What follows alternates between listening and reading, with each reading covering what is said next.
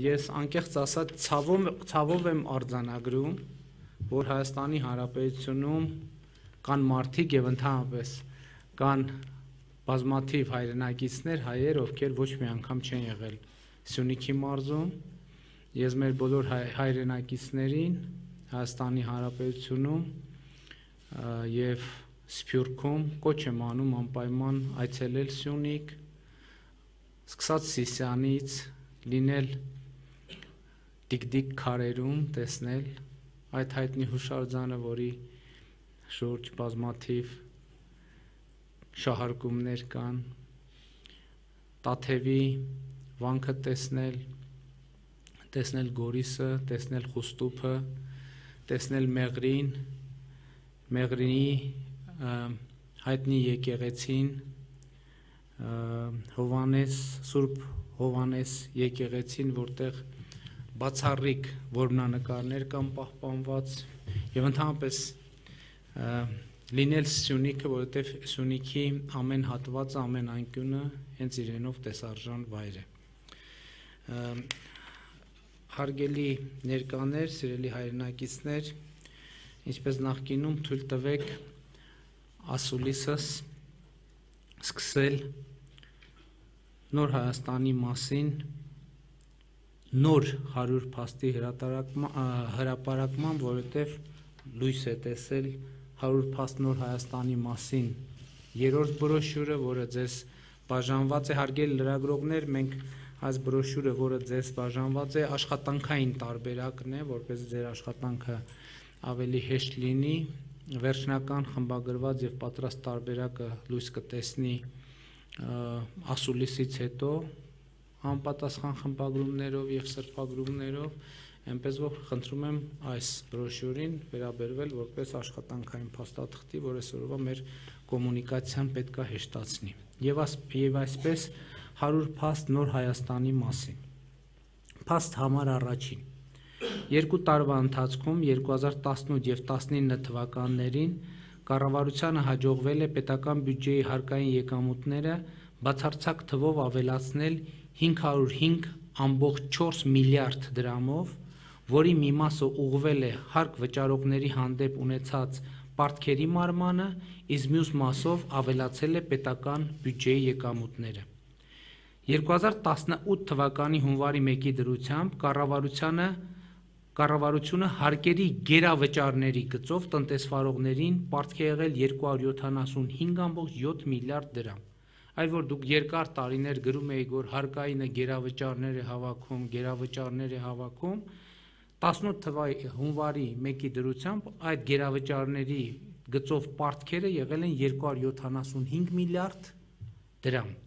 2020 թվականի հունվարի 1-ի դրությամբ նմանօրինակ պարտքը կազմում է 76.6 միլիարդ դրամ, ներառյալ նաև ԱԱՀ-ի ընթացիկ պարտքերը եւ դեբետները։ Այսինքն 1.5 տարվա ընթացքում կառավարությունը բիզնեսին վերադարձրել է մոտ 200 միլիարդ դրամի պարտք։ Վերը նշված 505.4 միլիարդ դրամի մնացած 305 միլիարդ դրամը համալրել են պետական բյուջեի հարկային եկամուտների հատվածը։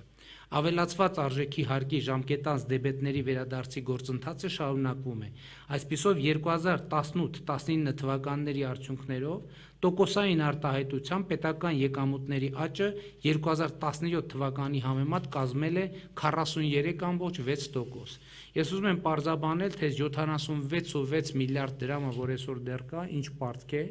դա այն մեր ժամկետանց դեբետների չմարված մասն է, որովհետև հիշում եք 56 միլիարդ մենք տրամադրեցինք, որ เป զի մարենք,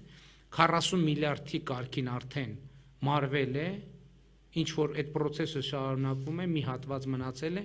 իսկ մյուս հատվածը ավելացված արժեքի ընթացիկ պարտքերն են, որոնք կուտակվում են 3 ամսյա ըստ օրենսդրության 3 ամսյա հաճախականությամբ վերադարձվում են տնտեսվարողին։ Այսինքն մենք փաստացի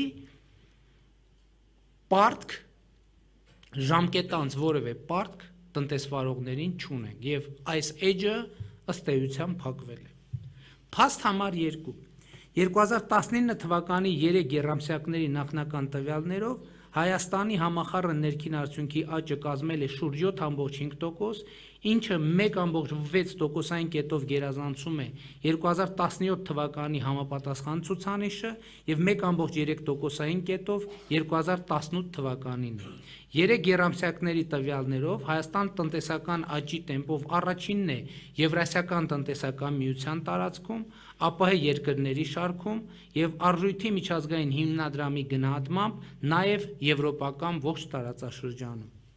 Փաստ համար 3 2020 թվականի պետական բյուջեով նախատեսված կապիտալ ծախսերը 2017 թվականի փաստացի ցուցանիշի նկատմամբ աճել են 21%-ով։ 2018-ի փաստացի ցուցանիշի նկատմամբ 90%-ով, 2019-ի բյուջեի համեմատ ավելի քան 30%-ով։ 2020 թվականի պետական բյուջեի նախագծով պլանավորվել է կապիտալ ծախսերի շուրջ 102 միլիարդ դրամ ավելացում, հասնելով համախառն ներքին արդյունքի 4.1%-ի մակարդակի 2018 թվականի 2.5-ի եւ 2019-ի 3.3-ի փոխարեն։ 2020 թվականին ընդհանուր առմամբ նախատեսված է 287.7 միլիարդ դրամի կապիտալ ծախս։ 2020-ին Հայաստանի պատմության մեջ առաջին անգամ կառավարությունը չի նախատեսում վերցնել բյուջետային աջակցության վարկեր։ Արտաքին աղբյուրներից ներգրավվելու են բացառապես այնպիսի վարկեր, որոնք օգտագործվելու են կոնկրետ նպատակային ծրագրերի համար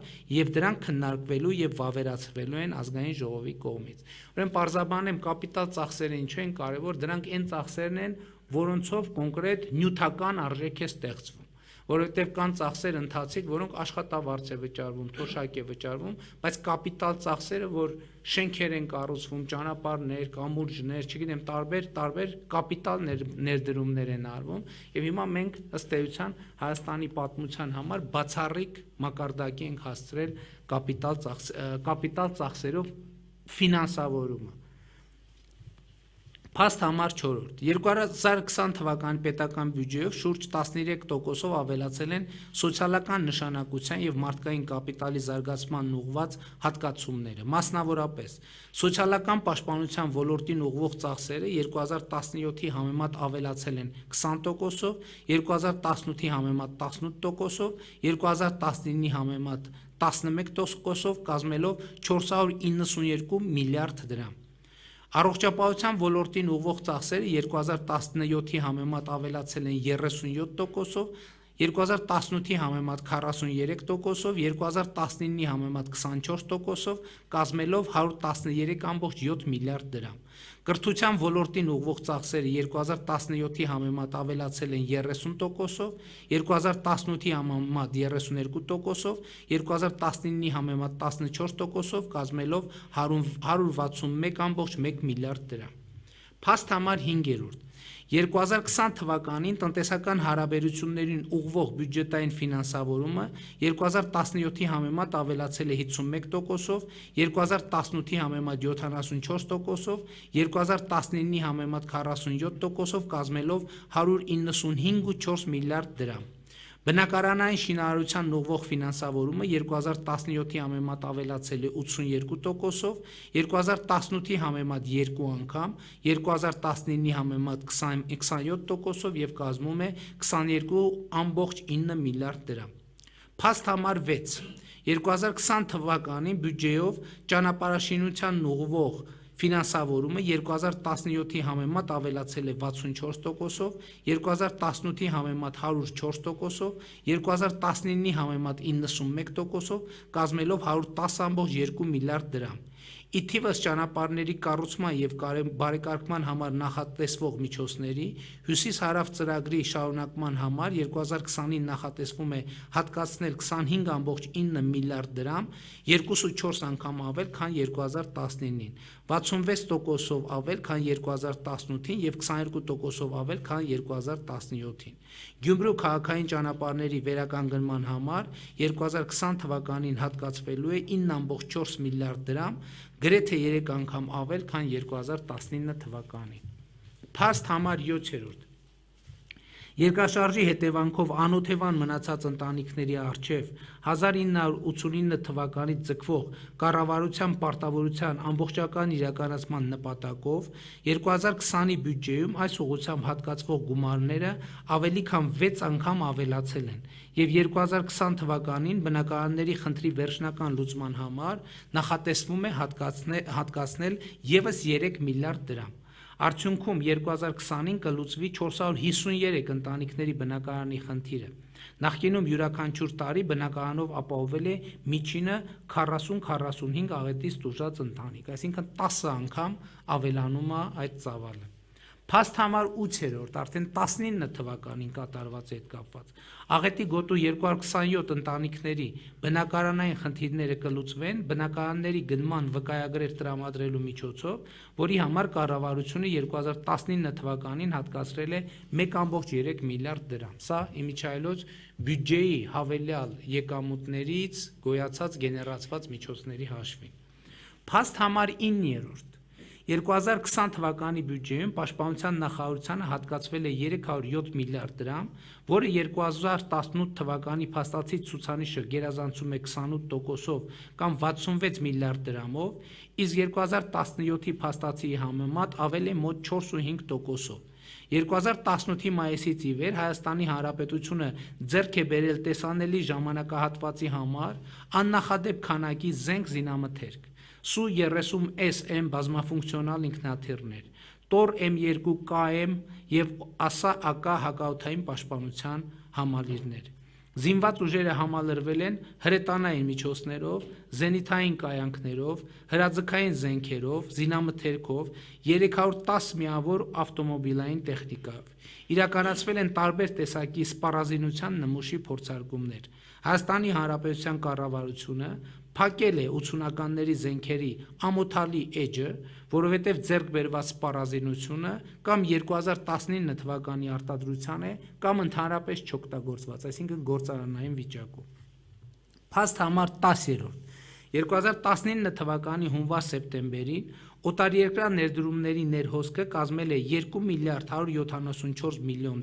դոլար, ինչը 2018-ի նույն ժամանակահատվածի համեմատ ավել է 465 միլիոն դոլարով կամ 27.6%-ով։ 2017-ի համեմատ 635 2017-ի համեմատ 635 միլիոն դոլարով կամ 41%-ով։ Օտարերկրյա ուղակի ներդրումների գծով ստացումները նշված ժամանակահատվածում կազմել են 453.8 միլիոն դոլար, ինչը 68.7 միլիոն դոլարով կամ 17.8%-ով ավել է, քան 2018-ի ցուցանիշը։ Փաստ համար 11 2019 թվականի ընթացքում գերակա ոլորտներում կառավարության որոշումների արդյունքում հաստատվել է 57 ներդրումային ծրագիր 212 միլիարդ դրամ ընդհանուր ներդրումային արժեքով։ Հավանության արժանացած ներդրումային ծրագրերով նախատեսվում է, որ պետք է ստեղծվի 3320 աշխատատեղ։ 2018-ին հաստատվել է 43 ծրագիր մոտ 195 միլիարդ դրամ ներդրումային արժեքով եւ 3883 ակնկալվող աշխատատեղերով։ Ընդհանուր ներդրումային արժեքի աճը կազմել է գրեթե 10%։ Փաստ համար 12 2019 թվականի վերջի դրությամբ Հայաստանի միջազգային պահոստների մակարդակը կազմել է 2 միլիարդ 849 միլիոն ԱՄՆ դոլար, ինչը 2018 թվականի վերջի նկատմամբ ավել է 590 միլիոն դոլարով կամ 26%-ով, իսկ 17 թվականի նկատմամբ 535 միլիարդ դոլարով կամ 23%-ով։ 2019-ի ընթացքում կենտրոնական բանկը գնել է 565 միլիոն դոլար եւ վաճառք չի իրականացրել։ Սա աննախադեպ ցուցանիշ է երրորդ հանրապետության պատմության մեջ, որն ապահովում է Հայաստանի ֆինանսական համակարգի հուսալիությունն ու կայունությունը։ Փաստ համար 13 տեղի ունեցել Եվրապարտատոմսերի երրորդ թողարկումը 500 միլիոն ԱՄՆ դոլար ծավալով եւ 10 տարի մարման ժամկետով։ Նոր թողարկման պարտատոսների արժեքընտրոնի եկամտաբերությունը ընդամենը 3.95% է, հետգնված պարտատոմսերի 6%-ի փոխարեն, ինչը նշանակում է, որ Հայաստանի համար էականորեն նվազել են պարտատոմսերի սպասարկման ծախսերը։ Միայն այս գործողության արդյունքում Հայաստանը արտաքին պարտքի սպասարկման ընթացքում տարեկան կխնայի շուրջ 10 միլիոն դոլար։ Փաստ համար 14 2018 թվականի մայիսի համեմատ 2019 թվականի վերջի դրությամբ Հայաստանում ի հայտ է եկել, ստեղծվել է կամ ստվերից դուրս է եկել 81534 նոր աշխատատեղ։ Ցուցանիշները փաստում են, որ նոր ի հայտ եկած աշխատատեղերի բաշխվածության մեջ գնալով մեծանում է բարձր աշխատավարձով աշխատատեղերի չափաբաժինը, ինչը վկայում է տնտեսության խորքային եւ դրական տրանսֆորմացիայի մասին։ Փաստ համար 15 Զբաղվածության մակարդակը 2019 թվականի 3-րդ երամսյակում բարձրացել է մինչև 49.3%, 2018-ի 46.8-ի եւ 2017-ի 46.3-ի փոխարեն։ Փաստացի 1 տարվա ընթացքում Հայաստանում զբաղվածության մակարդակը բարձրացել է 2.5%-ային կետով։ Միևնույն ժամանակ 2019-ի 3-րդ երամսյակում Հայաստանում գործազրկության մակարդակը նվազել է մինչև 18%, 2018-ի 20.1%-ի եւ 2017-ի 19.9%-ի փոխարեն։ Փաստ համար 16 2019 թվականի ընթացքում Հայաստանում տպվել է 120 միլիոն 36800 հատով կամ 38%-ով ավելի հսկիչ դրամարկային կտրոն, քան 2018 թվականին։ Արդյունքում 2018 թվականի համեմատ արձանագրվել է 345 միլիարդ 413 միլիոն դրամի կամ 21.9%-ով ավելի առևտրաշրջանառություն։ Փաստ համար 17 2019 թվականին տեղեկատվական տեխնոլոգիաների ոլորտի 230 կազմակերպություն ստացել է հարկային արտոնություն, որոնց թվում Սփյուռքից դիմացների թիվը կազմում է շուրջ 30 ընկերություն, ընդհանուր առմամբ ոլորտում ստեղծվել են ավելի քան 1200 նոր աշխատատեղեր։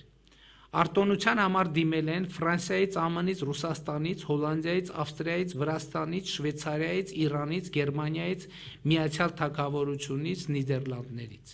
Ներուժ ծրագրի շրջանակներում աշխարհի 17 երկրներից Վրաստան, Բելարուս, Չինաստան, Չեխիա, Էստոնիա, Գերմանիա, Ֆրանսիա, Մեծ Բրիտանիա, Մալթա, Իռլանդիա, Լեհաստան, Իսպանիա, Լիբանան, Հարավային Կորեա, Ռուսաստան, Արաբական Միացյալ Էմիրություններ, ԱՄՆ, Հայաստան են ժամանել ավելի քան 47 ընկերություններ, որոնց հաղթողները կարժանանան դրամաշնորի եւ կստանան Հայաստանում ապրելու եւ աշխատելու հնարավորություն։ Փաստ համար 18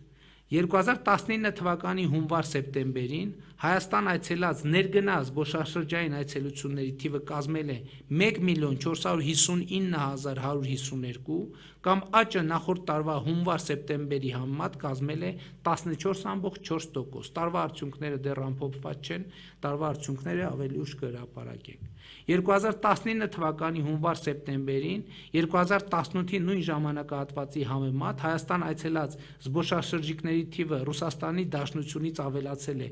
76%-ով, Գերմանիայից 2 ավելի քան 2 անգամ, Ֆրանսիայից ավելի քան 2 անգամ, Իտալիայից 62%-ով, Նիդերլանդներից 98%-ով, Իրանից 13%-ով, Վրաստանից 11%-ով, Կանադայից 43%-ով, Ուկրաինայից 31%-ով։ 2019-ի հունվար-սեպտեմբերին նախորդ տարվա նույն ժամանակահատվածի համեմատ ներքին զբոսաշրջային այցելությունները աճել են 45.7%-ով, այսինքն մեր հայրենակիցները Հայաստանի Հանրապետության ներսում նույնպես այցելում են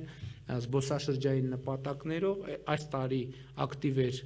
Գյումրին հատկապես, համոզված եմ մյուս տարի եւ Գյումրին ակտիվ կլինի եւ Սյունիքը ակտիվ կլինի եւ մնացած բոլոր ուղություններով Փաստ համար 19-ը 2019-ին Հայաստանի ժամանել 4 միլիոն 319618 մարդ։ 2018-ին Հայաստան է ժամանել 3 միլիոն 757187 մարդ։ 2017-ին Հայաստան է ժամանել 3 միլիոն 398137 մարդ։ 2017-ի համեմատ 2019-ին Հայաստան է ժամանել 921475-ով ավել կամ 27.1%-ով ավել մարդ։ 2019-ի արդյունքներով Հայաստան ժամանողների թիվը 10506-ով ավել է մեկնողների թվից։ Սրանք արդեն վերջնականորեն մշակված տարբեր գերատեսչությունների միջև համաձայնեցված թվերն են։ Փաստ համար 20 Մի շարք հեղինակավոր կազմակերպություններ եւ պարբերականներ Հայաստանը եւ Երևանը ներառել են զբոսաշրջության համար նախընտրելի ուղությունների թվում։ 2020-ի ոչ հայտնի զբոսաշրջային այցելությունների լավագույն տասնյակում Հայաստանն ընդգրկել են բրիտանական The Telegraph Financial Times պարբերականները, ամերիկյան Forbes պարբերականը։ Booking.com-ը Երևանն ընդգրկել է 2020 թվականի աշխարհի ամենաակտիվ տուրիստական ուղությունների top 10-յակում։ Condé Nast Traveler ամսագրի Հայաստանի ըստ Այդ ամսագրի Հայաստանը ընդգրկվել է ճանապարհորդության 2020 թվականի top 20 ուղությունների շարքում։ Փաստ համար 21 2019-ի հունվար-նոյեմբերին Հայաստանի արտա, Հայաստանից արտահանումը նախորդ տարվա նույն ժամանակահատվածի համեմատ ավելացել է 9%-ով, կազմելով 2 միլիարդ 401 միլիոն ԱՄՆ դոլար, իսկ ներմուծումը աճել է 6.6%-ով, կազմելով 4 միլիարդ 830 միլիոն ԱՄՆ դոլար։ Վերին Լարս միջազգային ավտոմոբիլային անցակետում մաքսային գործառույթների իրականացման հետ կապված խնդիրների լուծման ուղղությամբ օպերատիվ քայլեր ձեռնարկելու նպատակով Հայաստանի Հանրապետությունը Ռուսաստանի Դաշնությունում, կոնկրետ Վերին Լարսում կունենա մաքսային կցորդ Առաջիկայում մենք նշանակումը կանենք, որ เป զի մեր արտահանողների եւ ներկրողների օպերատիվ հարցերը ավելի օպերատիվ կերպով լուծենք։ Փաստ համար 22 Կառավարությունը հաստատել է փոքր եւ միջին ջերմատնային տնտեսությունների ներդրման պետական աջակցության ծրագիրը, որը հնարավորություն է ընձեռելու գյուղատնտեսներին կառուցել ժամանակակից տեխնոլոգիական պահանջներին համապատասխանող նոր ջերմատներ, ինչի արդյունքում գյուղացիական տնտեսություններն անցնելու են ցածր արժեքից դեպի բարձր արժեք գյուղատնտեսության։ Ծրագրի իրականացման 3 տարիների ընթացքում նախատեսվում է արդիական չափորոշիչներով ջերմատնային տնտեսությունների կառուցում շուրջ 35 հեկտար ընդհանուր մակերեսով, բերքատվության բարձրացում եւ ջերմատնային արտադրանքի ծավալների ավելացում տարեկան շուրջ 3600 տոննայով։ Ծրագրով նախատեսվում է փոխհատուցել ջերմատների կառուցման ծախսերի շուրջ 1/3-ը իսկ սահմանապահ գյուղերի բնակիչներին եւ զիմ հաշմանդամություն ունեցող անձանց համար ծախսերի կեսը։ Այս փոխհատուցման մեխանիզմը մենք ինչպես հիշում եք 2019-ին ենք գործարկել եւ այսինքն դրա իմաստն է նա որ ծախսի ինչ որ մի մասը կառավարությունը կանխիկ փողով վերադարձնում է ներդրողին սա բոլորովին նոր մեխանիզմ է ելի ուրիշ ծրագրերում եւ ոնց որ թե սկսել է թափ հավաքել Փաստ համար 23 Գյուղատնտեսական ոլորտի տրամադրվող վարկերի տոկոսների սուբսիդավորման ծրագրի շրջանակներում 2019 թվականի 11 ամսվա օպերատիվ տվյալների համաձայն արդեն տրամադրվել է շուրջ 8000 միավոր 32 միլիարդ դրամի վարկ։ Նախորդ տարվա նույն ժամանակաշրջանի համեմատությամբ ծրագրից օգտվողների թիվը աճել է շուրջ 73%-ով, իսկ տրամադրված վարկերի գումարը շուրջ 61%-ով։ Ծրագրի շրջանակներում տրվում են 3-ից 15 միլիոն դրամ վարկեր, սահմանապահ բնակավայրերին 0%-ով, գյուղատնտեսական կոոպերատիվներին 3%-ով, այլ տնտեսվարողներին 5%-ով։ Սա մեր արձագանքն է Ներողություն եմ խնդրում։ Սա մեր արձագանքն է մեր սիրելի հայրենակիցների բողոքներին, բանկային տոկոսադրույքների բարձր լինելու կապակցությամբ։ Այս ծրագրով մենք ծավալները անընդհատ կավելացնենք, որ เป զի մեր սիրելի հայրենակիցները բարձր տոկոսների հետ կապված դժվարություններին ավելու ավելի քիչ բախվեն 2000 փաստ համար 24 2019-ին լրամշակվել է խաղողի ժամանակակից տեխնոլոգիաներով մշակվող ինտենսիվ պտղատու այգիների եւ հատապտղանոցների հիմնման համար պետական աջակցության ծրագիրը տրամադրվել է 347.8 միլիոն դրամ գումարի 11 միավոր վարկ 32.2 հեկտար այգի հիմնման համար սուբսիդավորման գումարը կազմել է 38 միլիոն դրամ եւ մեկ շահառուին տրամադրվել է փոխհատուցում 1 հեկտար այգի հիմնման համար 7.4 միլիոն դրամ արժեքով Նախորդ տարի ծրագրից օգտվել է ընդամենը 1 այց, 1 անց։ Այս ծրագրով այս ծրագր ծրագրով վարկերը նախորդ տարի, այսինքն 18 թվականին տրամադրվում են 2%-ով, սահմանապահ գյուղերին 0%-ով, 3 հեկտարից ավելի այգի հիմնող գյուղատնտեսական կոոպերատիվներին 0%-ով։ Կես հեկտարից մինչև 10 հեկտար այգիների հիմնման համար տրվում է ծախսերի 50% փոխհատուցում։ Փաստ համար 25 2019 թվականին մեկնարկել է փոքր եւ միջին խելացի անասնաշենքերի կառուցման կամ վերակառուցման եւ դրանց տեխնոլոգիական ապահովման պետական աջակցության ծրագիրը, որի շրջանակներում տրամադրվել է հավաստագիր 104 քաղաքացու եւ կնքվել է փոխհատուցման 12 պայմանագիր։ Ծրագրի շրջանակներում պետությունը վերադարձնում է անասնաշենքերի կառուցման կամ վերակառուցման համար արված ծախսերի 50%-ը, սահմանապահ գյուղերում եւ հաշմանդամություն ձեռք բերած զինվորականների պարագայում 70%, այսինքն արված ծախսի 70%-ը մինչև պետությունը վերադարձնում է։ Փաստ համար 26 մեկնարկել է 2019-2024 թվականների տավարաբուծության զարգացման ծրագիրը, որի շրջանակում ձեռք է բերվել 304 գլուխ կենթանի 391 միլիոն դրամ արժեքով, սուբսիդավորման գումարը կազմել է 9 միլիոն դրամ։ Մեկնարկել է 19-ից 23 թվականների ոչխարաբուծության եւ այծաբուծության զարգացման պետական աջակցության ծրագիրը ձեռք է բերվել 203 գլուխ կենթանի, տրամադրվել է 78.9 միլիոն դրամ արժեքով 1 միավոր վարկ։ Այդ ծրագրով ինչի մեկ միավոր, որովհետև տարվա կեսից է, նույնիսկ տարվա վերջից է այս ծրագիրը բան արել, մեկնարկել, այս ծրագրով վարկերը տրվում են 2%-ով, սահմանապահ գյուղերի բնակիչներին եւ գյուղատնտեսական կոոպերատիվներին 0%-ով։ Եվ այսպիսի ծրագիր էլ նախկինում չի իրականացվել Հայաստանում եւ համոզված ենք, որ սա նույնպես թափ է առնելու։ Փաստ համար 27 Գյուղատնտեսական տեխնիկայի ֆինանսական վարձակալության լիզինգի պետական աջակցության ծրագրով 2019 թվականին 210 շահառուի տրամադրվել է 357 միավոր գյուղատնտեսական տեխնիկա, այդ թվում 157 միավոր տրակտոր, 4 միավոր կոմբայն, լիզինգի գումարը կազմել է 1.7 միլիարդ դրամ, սուբսիդավորման գումարը 129.5 միլիոն դրամ։ Նախորդ տարվա նույն ժամանակահատվածի նկատմամբ շուրջ 1.7 անգամ ավելացել է ինչպես լիզինգառուների, այնպես էլ տրամադրված գյուղատնտեսական տեխնիկայի թիվը։ Այս ծրագրով հնարավոր է ստանալ վարկել 2% տոկոսադրույքով։ Հիմա այդ տարբերություն նախկինի ոչ թե տրակտորները պահում ենք, որ ընտրություններից առաջ բաժանենք, Այլ տրակտորները նորմալ գրաֆիկով տալիս ենք, որ เป զի մարդիկ աշխատեն, աշխատանքով հաղթահարեն իրենց նյութական խնդիրները, հարստանան եւ հարստացնեն։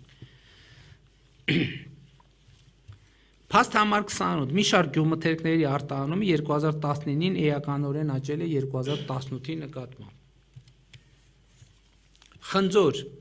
Աճը արտահանման 3240 տոննա կամ 32%, կերաս. Աճը 1440 տոննա կամ 35%, արքայանարինջ աճը 2000 տոննա կամ 96%, թութ, թուս, հաղարջ, մոշ խմբի պտուղները աճը 700 տոննա կամ 86%, ելակ ազնվավորի աճը 725 տոննա կամ 172%, Բալհոն աճը 150 տոննա կամ 27%, այս որ երկու հատ եմ կարդում ոչ թե առանձին առանձին, այլ երկուսը իրար հետ, որովհետև մաքսային ընթացակարգերով նույն տողով է հաշվարկվում։ Վարունգ աճը 6600 տոննա կամ 266%, Ծաղկակաղան բրոկոլի աճը 1500 տոննա կամ 45%, բողք աճը 730 տոննա կամ 58%, սունկ աճը 840 տոննա կամ 148%, պղպեղ աճը 280 տոննա կամ 47%, սմբուկ աճը 600 տոննա կամ 657%, ձմերուկ սեղ աճը 225 տոննա կամ 50%։ 2019 եզակի տարի էր, երբ խաղի մթերման ժամանակ ստրեսային եւ ցայտնոտային տեղեկություններ չստացվեցին։ Դες պատմությունը հիշում եք։ Երբ որ ես այդ արեցի, որ այս տարի խաղի մթերման հետ կապված խնդրեմ չեղավ, բայց ձորի մի գյուղի մեր սիրելի հայրենակիցները իրեն ձայնը բարձրացրեցին եւ արագ այդ հարցն էլ լուծվեց, ընդ որում լուծվեց ոչ թե քաղաքական միջոցներով, այլ տնտեսական միջոցներով։ Նկատի ունեմ մենք որը մեկին չասեցինք, այ գնա մթերի, որ քաղաքական աղմուկ չլինի, վնաս կրի, այլ այդ տնտեսվարողը եւ մթերողը եւ հանձնողները լրիվ տնտեսական տրամաբանության մեջ ուղղակի պետական վարկեր ունեինք մթերողների համար այդ մի այդ դեպքից հետո այդ վարկի ծավալը մի փոքր հնարավորություն ավելացրինք սուբսիդավորող վարկերի եւ ամեն ինչ կարգավորվեց այնպես որ բացառությունը այս դեպքում հաստատեց օրինաչափություն շատ կարևոր փաստ համար 29 գրեթե 1 տարի տևած բանակցությունները փսակվել են հաջողությամբ Ձերք է բերվել Իրանի տարածքով կենթանի կենթանիների տարանցիկ արտահանման համաձայնություն։ Տնտեսվարողներն այլևս ստիպված չեն լինի հսկայական գումարներ վճարել ինքնաթիռով Իրաք, Քուվեյթ, Արաբական Միացյալ Էմիրություններ, Քաթար, Իրան եւ այլուր կենթանիներ տեղափոխելու համար։ Վստահաբար կարելի է պնդել, որ կենթանիների արտահանման ծավալները կտրուկ կավելանան, ինչն է կխթանի անասնաբուծության զարգացում։ Սա իսկապես շատ կարևոր փաստ է, որովհետեւ նախկինում հնարավոր չէր լինում ավտոմեքենաներով տարանցել կենթանի կենթանիներին եւ Հայաստանից ինքնաթիռով մանր եղջերավոր անասուններ արտահանվում, ինչը բնականաբար մեծ տնտեսական խնդրեմ է։ Հիմա հիմա այս ամեն ինչը այնտեղ անասնաբուծության զարգացման ծրագիր ենք ներդնում, խելացի անասնագոմերի, այս կողմից արտահանման ճանապարհներն ենք բանանում, բարիս եւ եւ ֆիզիկական իմաստով եւ բովանդակային իմաստով եւ սա ամբողջությամբ մեր աշխատանքի խրախուսման եւ աշխատանքով խնդիրները հաղթարման մեր պետական քաղաքականության կոնկրետ փաստացի իրագործումն է։ Փաստ համար 30 2019 թվականի սեպտեմբերի 30-ից Հայաստանում ներդրվել է գյուղատնտեսության ապահովագրության պիլոտային ծրագիրը, որի շրջանակներում խաղող եւ ծիրամշակաբույսերի համար հասանելի է լինելու գյուղատնտեսության ապահովագրությունը։ Ծրագրի իրականացման արդյունքում Հայաստանի 6 մարզերում կարկուտի եւ հրդեհի Գառնանային ցրտահարության ռիսկերից կապահովագրի ավելի քան 30000 հեկտար հողատարածք նախադրյալներ կստեղծվեն գյուղատնտեսության ապահովագրության ամբողջական ներդրման համար։ Գյուղացու ֆինանսական ծախսի առնվազն 50%-ը կհոգա պետությունը, իսկ ցրտահարության ռիսկի ապահովագրավճարն էլ կփոխհատուցվի 60%-ով։ Փաստ համար 31 Հայաստանից առաքվող փոստային փաթեթների մաքսային զնման ձևակերպման համար սահմանված սակագինը 2250 դրամը չեղարկվել է, հնարավորություն ընձեռելով փոքր եւ միջին բիզնեսին ավելի արդյունավետ օգտագործել էլեկտրոնային առևտրի եւ արտահանման հնարավորությունները։ Փաստ համար 32 գործարկվել է ներդրումների աջակցման կենտրոնի 1 պատուհան համակարգը Ան Հայաստանում ներդրումներ իրականացնելու մտադրություն ունեցող տեղացի եւ օտարերկրյա գործարարներին կուղեկցի ներդրումներ իրականացնելու համար անհրաժեշտ բոլոր գործընթացներում եւ կտրամադրի համալիր աջակցություն մի շարք ուղություններով սկսած տվյալ ոլորտի հնարավորություններից եւ պայմաններից մինչեւ ծրագրի ընթացքում առաջացած խնդիրներին օպերատիվ արձագանքում։ Մենք պայմանավորվել ենք, որ փետրվարի կեսերին արդեն կայցել եմ ես գրասենյակ, որ เป զի տեսնենք գործնականում ինչպես է աշխատում համակարգը։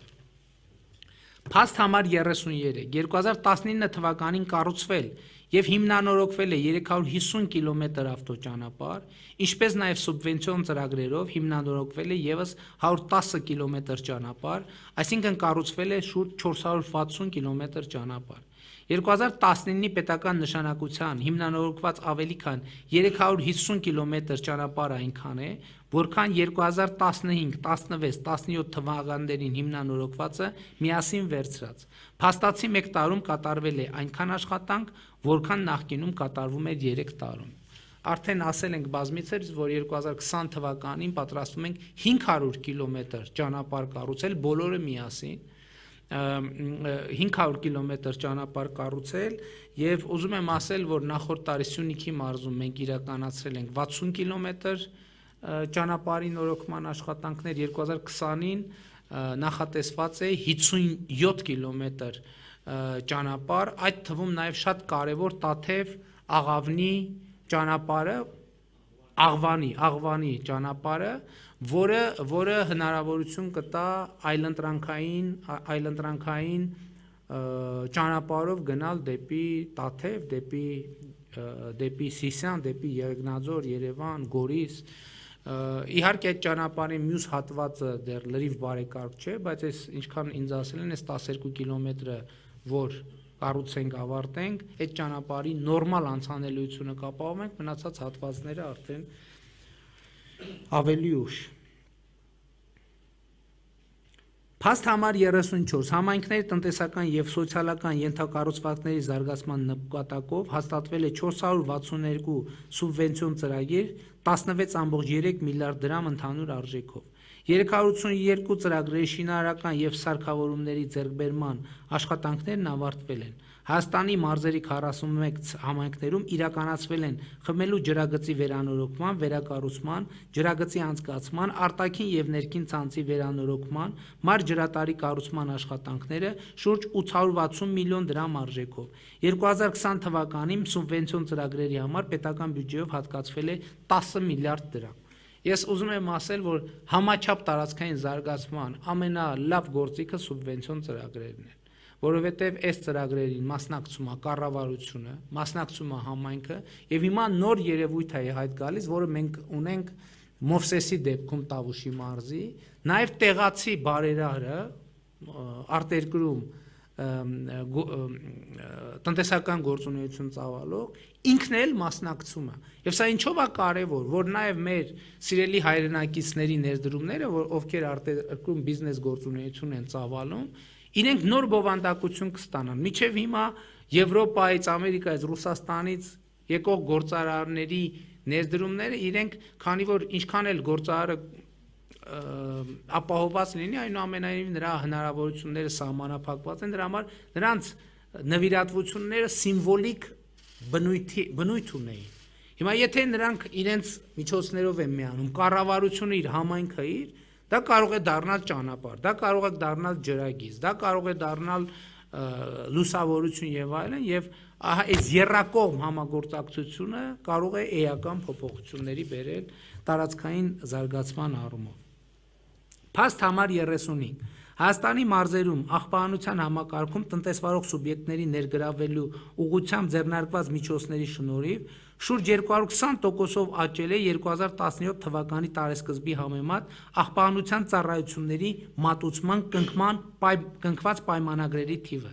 Սեփական պոտենցիալի վրա հիմնված զարգացում ապահովելու նպատակով կարողություններ ձևավորելու համար Հայաստանի տարածքային զարգացման հիմնադրամի միջոցով 24 միավորված համայնքներին տրամադրվել է 44 միավոր կոմունալ եւ 25 միավոր գյուղատնտեսական տեխնիկա, մենք ամբողջ 2 միլիարդ դրամ ընդհանուր արժեքով։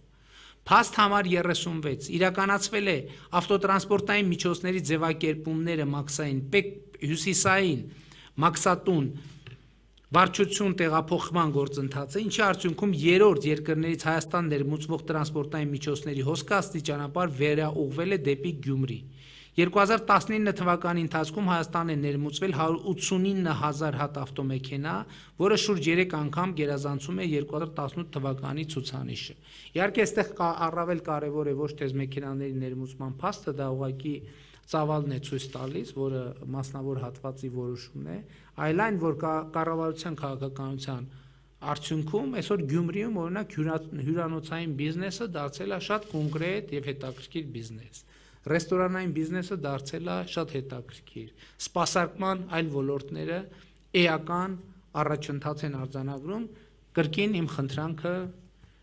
բոլոր գյումրեցիներին եւ Հայաստանի Հանրապետության մեր բոլոր սիրելի քաղաքացիներ, սիրելի հայրենակիցներ, մի մոռացեք հսկիչ դրամարկային կտրոնների եւ ձեր հարկային պարտավորությունների մասին, որովհետեւ այս process-ի մեջ կառավարությունը, մասնավորը, տնտեսվարողը պետք է ունենան գործընկերային հարաբերություններ։ Եթե մենք քայլ ենք անում, որը ձեզ բերում է կոնկրետ եկամուտներ, մենք հույս ունենք, որ քաղաքացին էլ իր տնտեսական վարկագծով համապատասխան արձագանքի կարժանացնի այդ երևույթը։ Փաստ համար 37 2018 թվականի ընթացքում կառավարությանը հաջողվել է 2017-ի համեմատ 2.2%-ային կետով նվազեցնել աղքատության մակարդակը, որը նախորդ տարվա տվյալներով գնահատվում է 23.5%, ինչն ամենացածրն է այս ցուցանիշի հաշվարկման ողջ ընթացքում։ Ընդ որում ծայրահեղ աղքատների թիվը 2017-ին արձանագրված 1.2%-ից նվազել է մինչև 1%։ Ինչպես հիշում եք, մեր նախընտրական ծրագրում կետ կա իմ քայլը դաշինքին, որ մենք պետքա 5 տարիների ընթացքում ծայրահեղ աղքատությունը վերացնենք Հայաստանի Հանրապետությունում։ Հայաստանում աղքատության մակարդակի անկումը պայմանավորող առավել կարևոր գործոնը եղել է տնտեսական աճը եւ ակտիվությունը։ Պետք է ընդգծել, որ Հայաստանում աղքատության մակարդակի գնահատումն իրականացվում է Համաշխարհային բանկի վերանայված թվով 3-րդ մեթոդաբանության համաձայն, որը կիրառվում է 2009 թվականից սկսած, այսինքն 2009-ից մինչև այսօր այս մեթոդով հաշվարկված մենք ունենք աղքատության ամենացածր մակարդակը։ Փաստ համար 38 2020 թվականից մեկնարկելու են ծնելիության խրախուսման, երիտասարդ եւ երեխաներ ունեցող ընտանիքների աջակցության նոր ծրագրեր, որոնք կգործեն 2020 թվականի հուլիսի 1-ից։ Ըստ այդմ 6 անգամ կբարձրանա առաջին երեխայի ծննդյան միանվագ նպաստը 50000 դրամից դառնալով 300000 դրամ։ Երկրորդ երեխայի ծննդյան միանվագ նպաստը կդառնա 300000 դրամ նախկին 150000 դրամի փոխարեն։ 2020 թվականի հուլիսի 1-ից մինչև 2 տարեկան երեխայի խնամքի նպաստի չափը 18000 դրամի փոխարեն սահմանվել է 26500 դրամ։ Ընդ որում, գյուղական բնակավայրերում ես սա չափազանց կարևորում եմ եւ խնդրում եմ մեր գյուղական բնակավայրերում ապրող մեր սիրելի հայրենակիցների առանձնահատուկ ուշադրությունը։ Գյուղական բնակավայրում բնակվող ծնողի համար 2020-ի հուլիսի 1-ից նախատեսվում է նշանակել հավելյալ խնամքի նպաստ, որը կկազմի 26500 դրամ։ Այսինքն գյուղական բնակավայրում բնակվող եւ միաժամանակ վարձու աշխատող հանդիսացող ծնողին, որը գրանցված է պաշտոնապես որպես աշխատող։ Եթե նա գտնվի միջև 3 տարեկան երեխայի խնամքի արձակուրդում, կնշանակվի խնամքի նպաստ որպես վարձու աշխատող 26500 դրամ եւ որպես գյուղական բնակավայրում բնակվող 26500 դրամ։ Ընդհանուր առմամբ շահառուն կստանա 53000 դրամ հավելյալ գումար։ Նախադպրոցական եւ դպրոցական հաստատությունները կունենան երկարօրյա խնամքի եւ ուսման ծառայությունների ընդլայնում, մասնավորապես համավճարի տարբերակով կկազմակերպվի խնամ 8.5-ից մինչև 19.00 Երեխայի ծննդով պայմանավորված հիպոթեքային վարկով բնակարան ձեռք բերելու համար պետությունը կտրամադրի եւ միանվագ դրամական աջակցություն եւ կանխավճարի ապահովագրություն մարզային բնակավայրերում։ Սրանով շատ կարեւոր է մենք որ մենք խթանում ենք բնակարանաշինությունը եւ նոր բնակարանների ձեռքբերումը մարզերում։ Նշեմ նաև, որ parzեցվել է պետպատվերի շրջանակներում փոքրիկների բուժօգնության տրամադրման կարգը։ Բուժ հիմնարկներում այլևս երեխայի առողջության պետական հավաստագիր չեն պահանջելու։ Այսինքն փոքրիկ բան է, բայց կարևոր, որովհետև երեխային հիվանդանոց են տանում, պետք է այդ հավաստագիր ունենան, հիշեն որտեղ են դրել եւ այլն կամ այդ պահին այն տատիկի տանն է մնացել կամ չգիտեմ ուր փոքր խնդիր է, բայց կարևոր։ Փաստ համար 39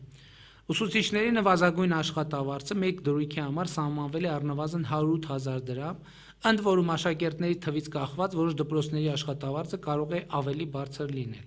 2020 թվականի հունվարի 1-ից ուժի մեջ է մտել հանրակրթական դպրոցների մանկավարժներին եւ դպրոցահասակ երեխաներին տրանսպորտային ծառայությունների դիմաց փոխհատուցում տրամադրելու նոր կարգը, որի համաձայն փոխհատուցում կտրվի մարզերի դպրոցների այն ուսուցիչներին եւ աշակերտներին, որոնք աշխատելու կամ սովորելու համար մի բնակավարից մյուսն են երթևեկում։ Այս նպատակով պետբյուջեից 3.5 անգամ ավելի շատ գումար է հատկացվելու։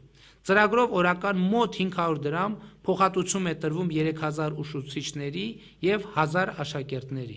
Բացի դրանից, այս 500 դրամը տենց միջինացված ինչ որ դա կարող է լինել ավելի ցածր, կարող է լինել ավելի բարձր կամ կախված կոնկրետ բնակավայրից եւ պայմաններից։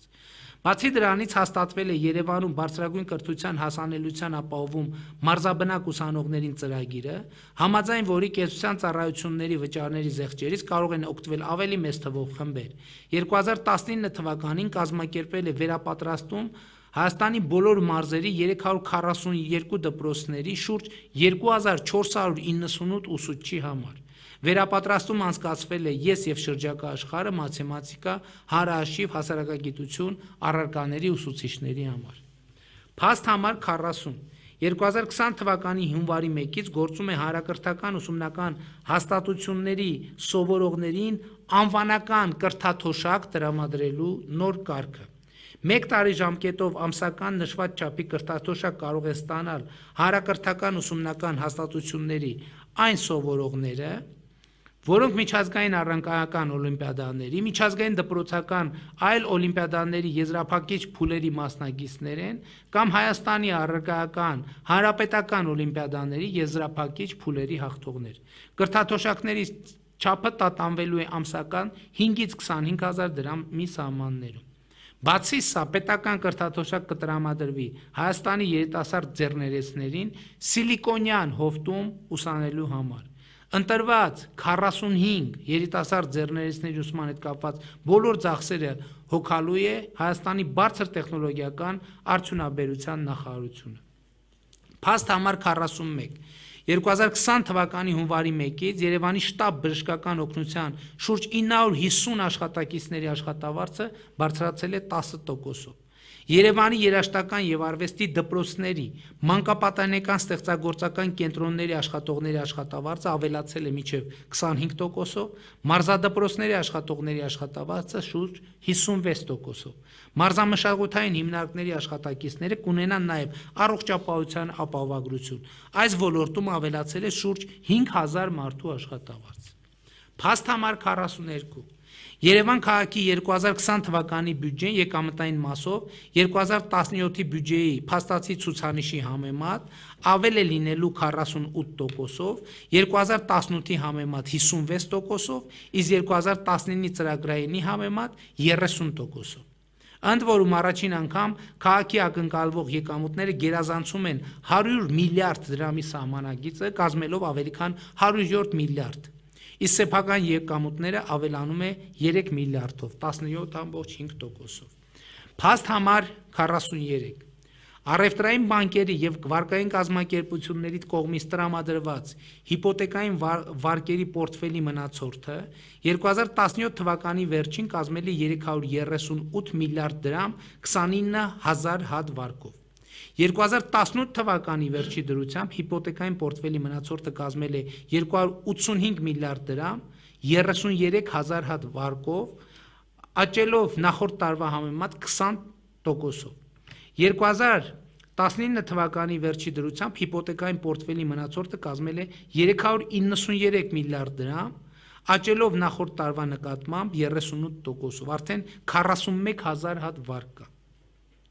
Միայն առևտրային բանկերի կողմից 2017 թվականի ընթացքում նոր տրամադրված հիպոթեկային վարկերի ծավալը կազմել է 83 միլիարդ դրամ, 2018 թվականի ընթացքում 101 միլիարդ դրամ, իսկ 2019 թվականի ընթացքում արդեն 165 միլիարդ դրամ, այսինքն 2019-ի 2017 թվականի համեմատ հիպոթեկային վարկերի ծավալը աճել է 99%-ով։ Վերը նշվածի ներքո ազգային հիպոթեկային եւ բնակարան երիտասարդներին կազմակերպությունների կողմից տրամադրված ծրագրային հիպոթեկային վարկերը 2017 թվականի ընթացքում կազմվել են 16.9 միլիարդ դրամ, 2018 թվականի ընթացքում 17.7 միլիարդ դրամ, իսկ 2019 թվականի ընթացքում 25 միլիարդ դրամ,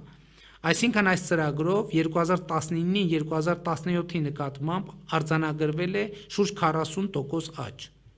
Երևանը կանգնած է շինարարական բումի նախաշեմին։ 2019 թվականի ընթացքում տրամադրվել է 2060 2612 շինարարության թույլտվություն, 2017-ի համեմատ Շինթույլտվությունների քանակը աճել է 813-ով կամ 45%-ով, իսկ 2018-ի համեմատ 1132-ով կամ 76%-ով։ Բնակարանաշինության ծրագրեր են մեկնարկել նաև հանրապետության այլ քաղաքներով։ Այս թվերի տակ, բայց շատ կարևոր է արձանագրել, որ կոնկրետ մարտիկ 2000 17 թվականի համեմատությամբ, այսինքն 19 թվի դրությամբ 41000 մարդ ընտանիք ձեռքա բերել բնակարան։ Այսինքն սա սա է կարևոր, այս տոկոսների տակ կարևոր արձանագրումը սա է։ Հաջորդը էլի բնակ բնականների ձեռքբերման հետ կապված։ Էական աճել է հիպոթեկային վարկի տոկոսների վճարման համար ուղղվող ֆիզիկական անձանց եկամտային հարկի վերադարձվող գումարը։ 2019 թվականին վարկառուների թիվը դարձել է 2568, որը 2018-ի համեմատ ավելացել է 64%-ով, 2017-ի համեմատ 180%-ով։ 2019-ին վարկառուները վարկառուներին վերադարձվել է 7.9 միլիարդ դրամ որը 2018-ի համեմատ ավել է 69%-ով, 17 թվի համեմատ ավել է 227%-ով։ Հիմա այս փաստը նախորդ փաստից ինչով է տարբերվում։ Տարբերվում է նրանով, որ այս ծրագրով ֆինանսավորվում է բացառապես նորակառույց շենքերում բնակարանների ձեռքբերումը։ Եվ 19 թվականի ընթացքում մենք 7.98 միլիարդ դրամով Հայաստանի Հանրապետության քաղաքացիների բնակարանի ձեռքբերում ենք ֆինանսավորել։ Իհարկե ծրագրի հետագա իրականացման հետ կապված, այսպես ասած, tuning-ի հետ կապված մի քանի առաջարկներ կան, որոնք կնայենք, որոնք գուցե թե ավելի էֆեկտիվ եւ հասանելի սոցիալական առումով ավելի հավասար հնարավորություն կստեղծեն։ Փաստ համար 45 Փրկարար ծառայության շարքային անձնակազմի միջին աշխատավարձը 85-90 հազար դրամից բարձրացվել է մինչև 130 հազար դրամ։ Հոկտեմբերի 1-ից 99 անտարապետի եւ 512 անտարապայի աշխատավարձը բարձրացվել է 20%-ով։ Աշխատակիցներն առաջին անգամ ապահովել են ամառային եւ ձմեռային արտահայտգոստով։ Նախորդ 100 փաստերի մեջ այս սրա մասին այս փաստի մասին հիշատակում կար, բայց այն ժամանակ ուղղակի ասել ենք, որ կբարձանա։ Հիմա փաստացի արձանագրում ենք, որ բարձացումը եղել է էական եւ շոշափելի եւ կոնկրետ։ Փաստ համար 46 բացառապես մտավոր խնդիրներ այդ թվում աուտիստ ու աուտիզմ ունեցող անձանց խնամքի եւ սոցիալական վերականգնողական ծառայություններ մատուցող կազմակերպություններում մասնագիտացված աշխատանք կամ խնամք իրականացնողների նվազագույն աշխատավարձը 2020 թվականի հունվարի 1-ից ավելացել է 30%-ով Փաստ համար 47 2020 թվականի հունվարի 1-ից նվազագույն աշխատավարձը 55000 դրամից բարձրացել է մինչև 68000 դրամ, ինչի արդյունքում միջինը 20%-ով բարձրացել է մոտ 130000 աշխատողների աշխատավարձ։ 2020 թվականի հունվարի 1-ից համահարց եկամտահարկի համակարգի գործարկման արդյունքում շուրջ 272000 քաղաքացու աշխատավարձ կբարձրանա։ Այսինքն այսօր արդեն 272000 Հայաստանի Հանրապետության քաղաքացու աշխատավարձ բարձրացել է, բայց իրենց ոչ մեկ չի ասել, որ իրենց աշխատավարձը բարձրացել է, որտեղ իրենց աշխատավարձը ստեյության մնացել է նույնը, նվազել է իրենց աշխատավարձից պահվող եկամտային հարկը։ Եվ սրա արդյունքում եւ երկու աշխատավարձի փոփոխությունների արդյունքում մենք ինչ էֆեկտ ունենք։ Ամեն ամիս Քաղաքացիների կողմից հավելյալ տնօրինվող գումարի չափը կավելանա ամսական 2.5-ից 4 միլիարդ դրամ։ Հունվարից սկսած մեր քաղաքացիները իրենց տնօրինման ներքո ունենալու են 2.5-ից 4 միլիարդ դրամ։ Ինչով է պայմանավորված այս ամպլիտուդը։ Այս ամպլիտուդը պայմանավորված է, որովհետև այդ աշխատավարձերը երբեմն որոշակի սեզոնայնություն ունեն, կապված ապարքեվավճարների բարբերականությունից, որովհետև ընկերները տարբեր քաղաքականություն ունեն, միշտ չի որ դա 100%-ով կանխատեսելի է։ Ուզում եմ հիշեցնել, որ ապարքեվավճարները նույնպես եկամտահարկով հարկվում են որպես աշխատավարձի մաս։ Փաստ համար 48 կառավարության որոշմամբ 1.9 միլիարդ դրամ է հատկացվել մանկատան շուրջ 300 շրջանավարտների համար բնակարանի գնման վկայագիր տրամադրելու նպատակով։ Ծրագրի շահառուները առաջնահերթության կարգով ընդգրկվել են նաև զբաղվածության պետական ծրագրերում։ Այսպիսով կառավարությունը կատարում է 2003 թվականի չկատարված պետական պարտավորությունը։ 2003 թվականից այս մարդկանց այս 300 մարդու նկատմամբ Հայաստանի Հանրապետություն դե յուրե արձանագրված պարտավորություն ունի, որ այդ մարդկանց պետքա բնակարան տա։ Պատկերացնում եք 17 տարվա ընթացքում 1.9 միլիարդ դրամ չի բանարվել։ Գտնվել,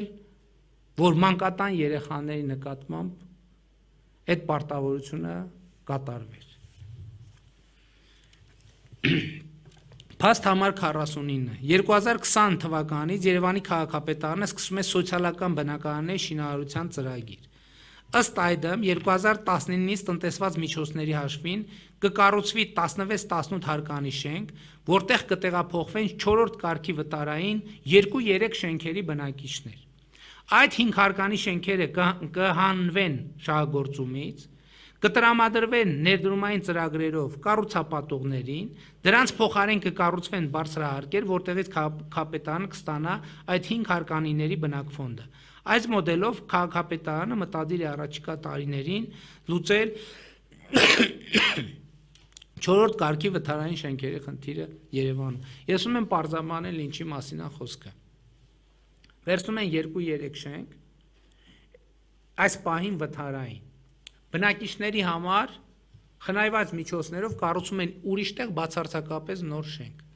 Այս շենքերի վթարային շենքերի բնակիչներին տեղափոխում են նոր կառուցված շենքեր։ Այս երկու երեք շենքերը քանդվում են, տարածքը մրցույթով հանվում է ներդրումային ծրագրերի։ Ներդրումների պայմանների մեջ լինում է, որ այս բնակարանների թվով բնակարաններ պետքա տան Երևանի քաղաքապետարանին։ Երևանի քաղաքապետարանը, որ այս բնականները ստանում է, 2-3 ուրիշ վթարային շենքերի բնակիչների տեղափոխում է։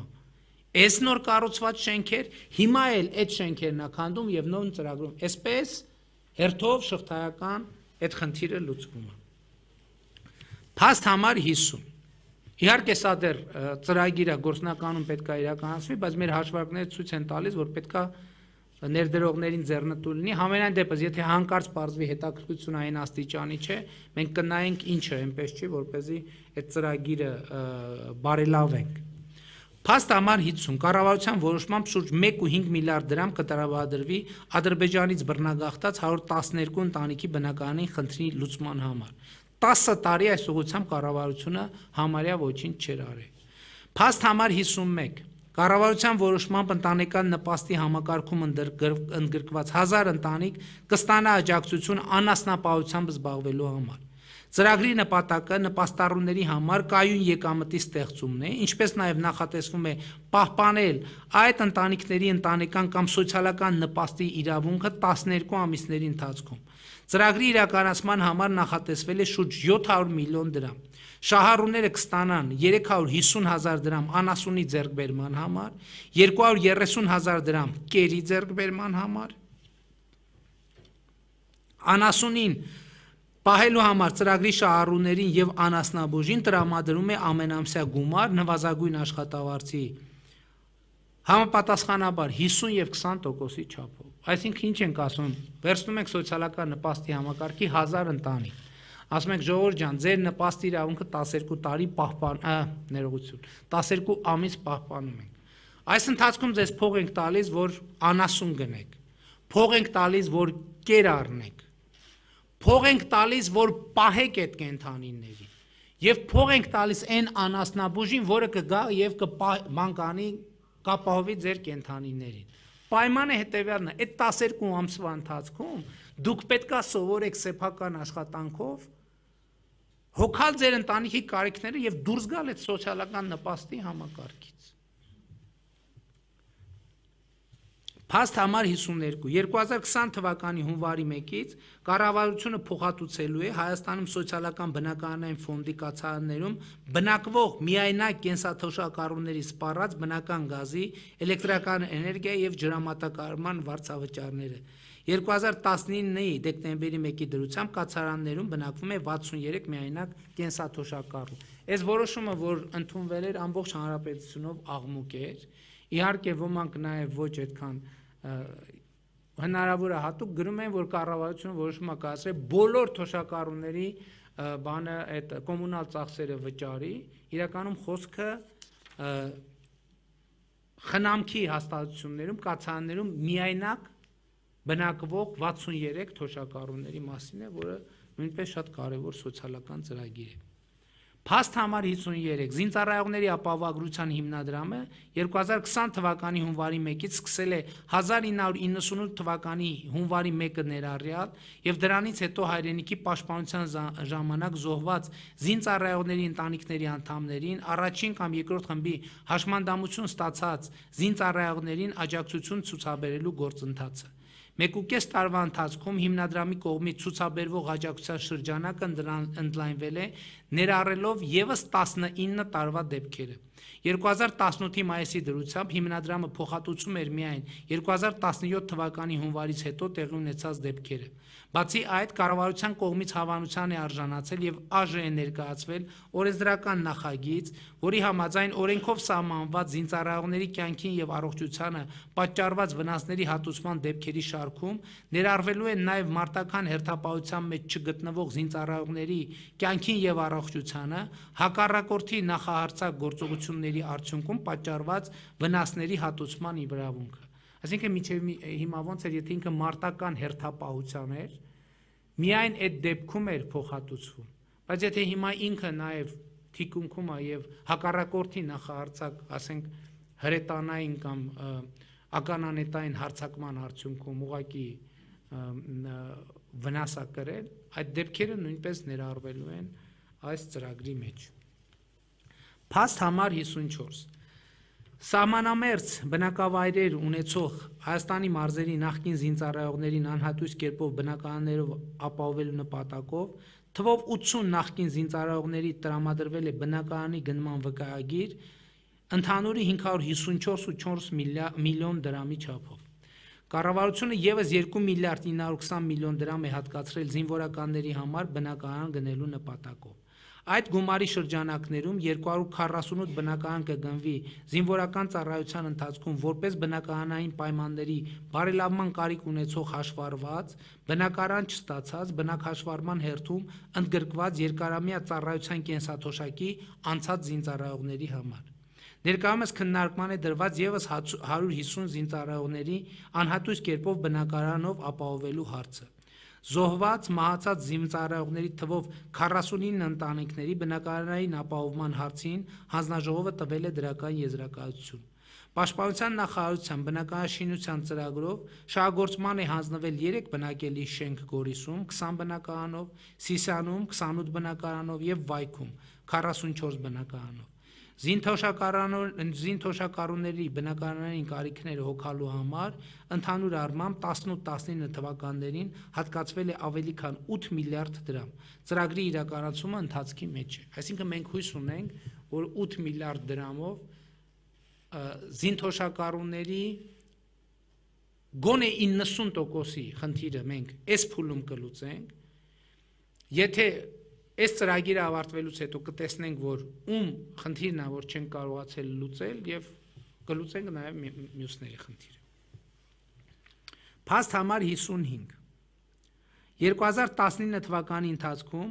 Հայաստանի բարձրագույն որակավորման կոմիտեի կողմից հաստատվել է թվով 6 դոկտորական եւ 216 տեխնացուական գիտական աստիճան։ Գիտական աստիճանները պաշտպանողների թիվը նախորդ տարիների համեմատությամբ էականորեն կրճատվել է, մասնավորապես 2018-ին պաշտպանվել էր 42 դոկտորական 317 տեխնացուական աստիճան, իսկ 2017-ին 41 դոկտորական եւ 353 տեխնացուական աստիճան։ Սա այն դեպքն է, որ ոչ թե արձանագրում ենք գոհունակությամբ ավելացում, այլ նվազում, որտեղ մենք բոլորս գիտենք, թե այս ոլորտում ինչ էր կատարվում եւ եւ 6 դոկտորական թեզա պաշտպանվել ընդամենը, ինչ է սա նշանակում, նշանակում է, որ մենք համոզված կարող ենք ասել, որ դոկտորական թեզա պաշտպանվել։ Փաստ համար 56 2019-ին Հայաստանի կրթության, գիտության, մշակույթի, սպորտի նախարարության ենթակայության թանգարաններ են այցելել 1 միլիոն 230 հազար այցելու, ինչը 18%-ով կամ 18600-ով ավել է, քան 2018 թվականին թանգարաններ այցելած մարդկանց թիվը եւ 33%-ով կամ 30 հազարով ավել, քան 2017 թվականին թանգարան այցելած մարդկանց թիվը։ Ամանորյա ոչ աշխատանքային օրերին 14662 մարդ է այցելել այդ օրերին աշխատող թանգարաններ։ 11960-ը տոմս են գնել, իսկ 2746 միջև 18 տարեկան անձինք օգտվել են կառավարության սահմանած անվճար մուտքի իրավունքից։ Փաստ համար 57 Ներդրել ենք տարին դասական համերգով ամփոփելու անվանդույթ, որը ընդունված է շատ երկրներում։ Դեկտեմբերի 31-ին Հայաստանի Պետական Սիմֆոնիկ նվագախումբը Լեփ լեցուն դահլիճում հանդես եկավ տոնական համերգով։ Տոնական օրերին փոքրերի մեծահասակներ եւ ընտանիքով այցելելու համար կազմակերպվել է շուրջ 20 ներկայացում։ Ամանորի օրերին 25%-ով աճել են թատրոններ հաճախողների թիվը։ 2019 թվականի դեկտեմբերի 29-ից մինչև 2020 թվականի հունվարի 7-ը Հայաստանում գործող թատրոններ այցելել են 54802 մարդ, որից 51000-ը 14-ը գնել է տոմս, 3780-ը ներկայացել է հրավիրատոմսով։ Այս տոմսերի բանը ինչի ենք պահ ինչի ենք առանձնահատուկ շեշտում որտեվ այդ ընդունված բան է եղել։ Այսօր գիտեք երևույթ կա, նույնիսկ ամենաապահովված մարդիկ համերգների բանի համար տոմս չեն առնում, սպասում են, որ իրանց հրավիրատոմս ուղարկեն։ Ինչը խնդրեմ առաջացնում, որովհետև մշակութային կազմակերպությունները մտածում են, որ իրանք ուրիշներին պետքա լավություն անեն, պետությունն էլ իրանք պետքա ֆինանսավորի։ Մենք ասում ենք ոչ, պետությունը իհարկե ձեզ պետքա ֆինանսավորի, սա հաջորդ կետով կանդրադառնանք։ Բայց դուք պետքա սեփական միջոցներ գեներացնեք։ Եվ պետքա բոլոր մշակութային օջախները, կազմակերպությունները իմանան, որ այսուհետև իրենց աշխատանքը, տնորենների աշխատանքը մասնավորապես գնահատվելու է ըստ այնը, թե ինչքան տոմս է վաճառվել եւ ինչքան սեփական եկամուտ է գեներացվել։ Հաջորդ պահը, այս որ մենք նոր տարվա ամանորի նոր տրամաբանությունը ներդրում էինք, մարդիկ կային, ելի որոշել էին մեզ մեղադրել ապազգային քաղաքականության մեջ Ասում են ինչպես կարելի է մարդկանց հravirել ամանորին թատրոն։ Ինչպես կարելի է ամանորին մարդկանց հravirել համեր կամ հրաապարակ համերգի։ Չէ որ դա ասում են ընտանեկան տոն է եւ այդ տոնը պետքա նշել հայրական օջախում։ Էնպիսի տպավորություն էր, որ այդ ասողների իշխանության տարիներին Հայաստանի 70%-ի տոկոսը Թիֆլիզահայ էր, այսինքն բան էր, հայրական օջախները Թիֆլիզում էին գտնվում։ Իհարկե, այս տարի էլ շատ մեր հայրենակիցներ գնացել են Վրաստանում նշելու, մենք նորմալ է Հայաստանի քաղաքացիները ունեն ազատ տեղաշարժի իրավունք եւ որտեղ կա ուզում են, այնտեղ էլ կարող են նշել։ Բայց մենք ուզում ենք Վրաստանի Միացյալ Էմիրությունների եւ Իտալիայի մյուս երկրների նման Հայաստանի Հանրապետությունը նույնպես գրավիչ դարձնել ամանորը նշելու համար։ Եվ ես ուրախ եմ, ուզում եմ իմ շնորհակալությունը հայտնել, որ Սփյուռքի մեր բազմաթիվ հայրենակիցներ, հազարավոր հայրենակիցներ արձագանքեցին իմ կոչին եւ Երևանում եկան ամանորը նշելու, հույս ունեմ, որ գոհ են մնացել եւ այստեղ պաշտոնական վիճակագրության անհրաժեշտություն չունեմ, որովհետեւ դեկտեմբերի 31-ին ես Երևանի փոքր կենտրոնում շրջում էի եւ բոլոր տեղերից լսվում էր արևմտահայերեն, արևմտահայերեն խոսք եւ բազմաթիվ մարդկանց հետ եմ անջամ շփվել սրճարաններում ներկանների 70-80%-ը սփյուռքահայեր էին։ Հիմա մշակույթի բյուջետային ֆինանսավորման համար մասին 700 միլիոն դրամով աճել է հետևյալ մշակութային հաստատությունների ֆինանսավորումը, որի արդյունքում նրանք դառնում են ամբողջությամբ պետության կողմից ֆինանսավորվող։ Հայաստանի ազգային պետական երգչախումբ, ազգային ֆիլհարմոնիկ նվագախումբ, պետական սիմֆոնիկ նվագախումբ, Կոմիտասի անվան ազգային քարյակ, ազգային Հայաստանի ազգային ջազ նվագախումբ, Կամերային երաժշտության ազգային կենտրոն Հովեր, Տաղարան համու, Երևանի պետական կամերային երգչախումբ, կամերային նվագախումբ, կամերային երգչախումբ։ Այս էս էլ երկրորդ կողմն է։ Մենք ասում ենք սեփական միջոցներ պետքա գեներացնենք, բայց մենք չենք ասում կառավարությունը ձեզ չի ֆինանսավոր։ Ընթակառակը մենք 100% ֆինանսավորման ենք անցնում ըստ էության։ Եվ սա անում ենք նրա համար, որ մեր պետական մշակութային գործիչները ստիպված չլինեն գնալ այս կամ այն մեծահարուստի առաջ վիզ ծռել։ Գնաք կներեք նրանց հազար ներողություն վետերոկների բացումներին ճառեր ասել, թե ինչա թե այդ մեծահարուստները կամ օլիգարխները նախքին նրանց ինչ որ վճարներ են տալիս։ Ստիպված չլինեն գնան ինչ որ կուսակցությունների նախընտրական հանդիպումների ժամանակ ելույթներ ունենան այդպիսով հանրության շրջանում իջեցնելով իրենց վարկը։ Բայց մյուս կողմից մենք ասում ենք, որ սա համարում ենք ժամանակավոր ֆինանսավորում։ Այո, առաջիկա տարիներին մենք 100%-ով կֆինանսավորենք բյուջեից մշակութային պետական այս կազմակերպություններին, բայց այս ընթացքում մենք պետքա մտածենք նոր մեխանիզմներ, քաղաքակիրթ եւ ժամանակակից մեխանիզմներ գտնելու ֆինանսավորման։ Դա մի կողմը սեփական, մի մասը սեփական եկամուտների գեներացումն է, մյուս մասը այսպես ասած դասական երաշտության բարեկամների ասոցիացիաների ձևավորումը երրորդ հատվածը գովազդային միջոցառումները զբոսաշրջության հետ կապելը այսօր մենք գիտեք դասական երաշտության համեր բաներում ոլորտում ինչ խնդիրներ ունենք օրինակ շատ դեպքերում մշակութային կազմակերպությունը նվագախումբը տարվա համերգների հաստատված ցանկ չունի, որ เป զի տուրիստական կազմակերպությունները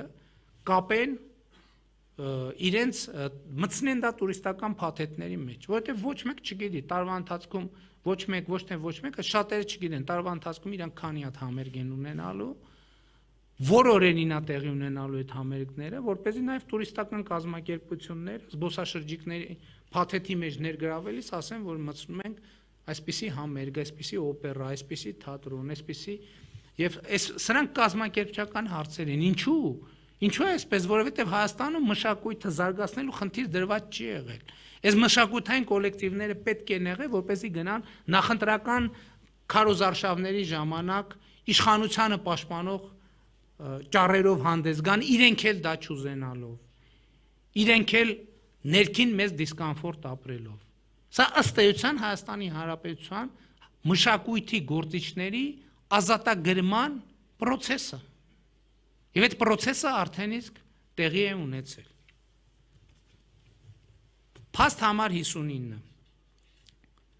Սևանի ջրառը նվազագույնն է վերջին 5 տարիների համար։ Սևանա լճից ռոռոկման նպատակով բաց է թողնվել 19 թվականին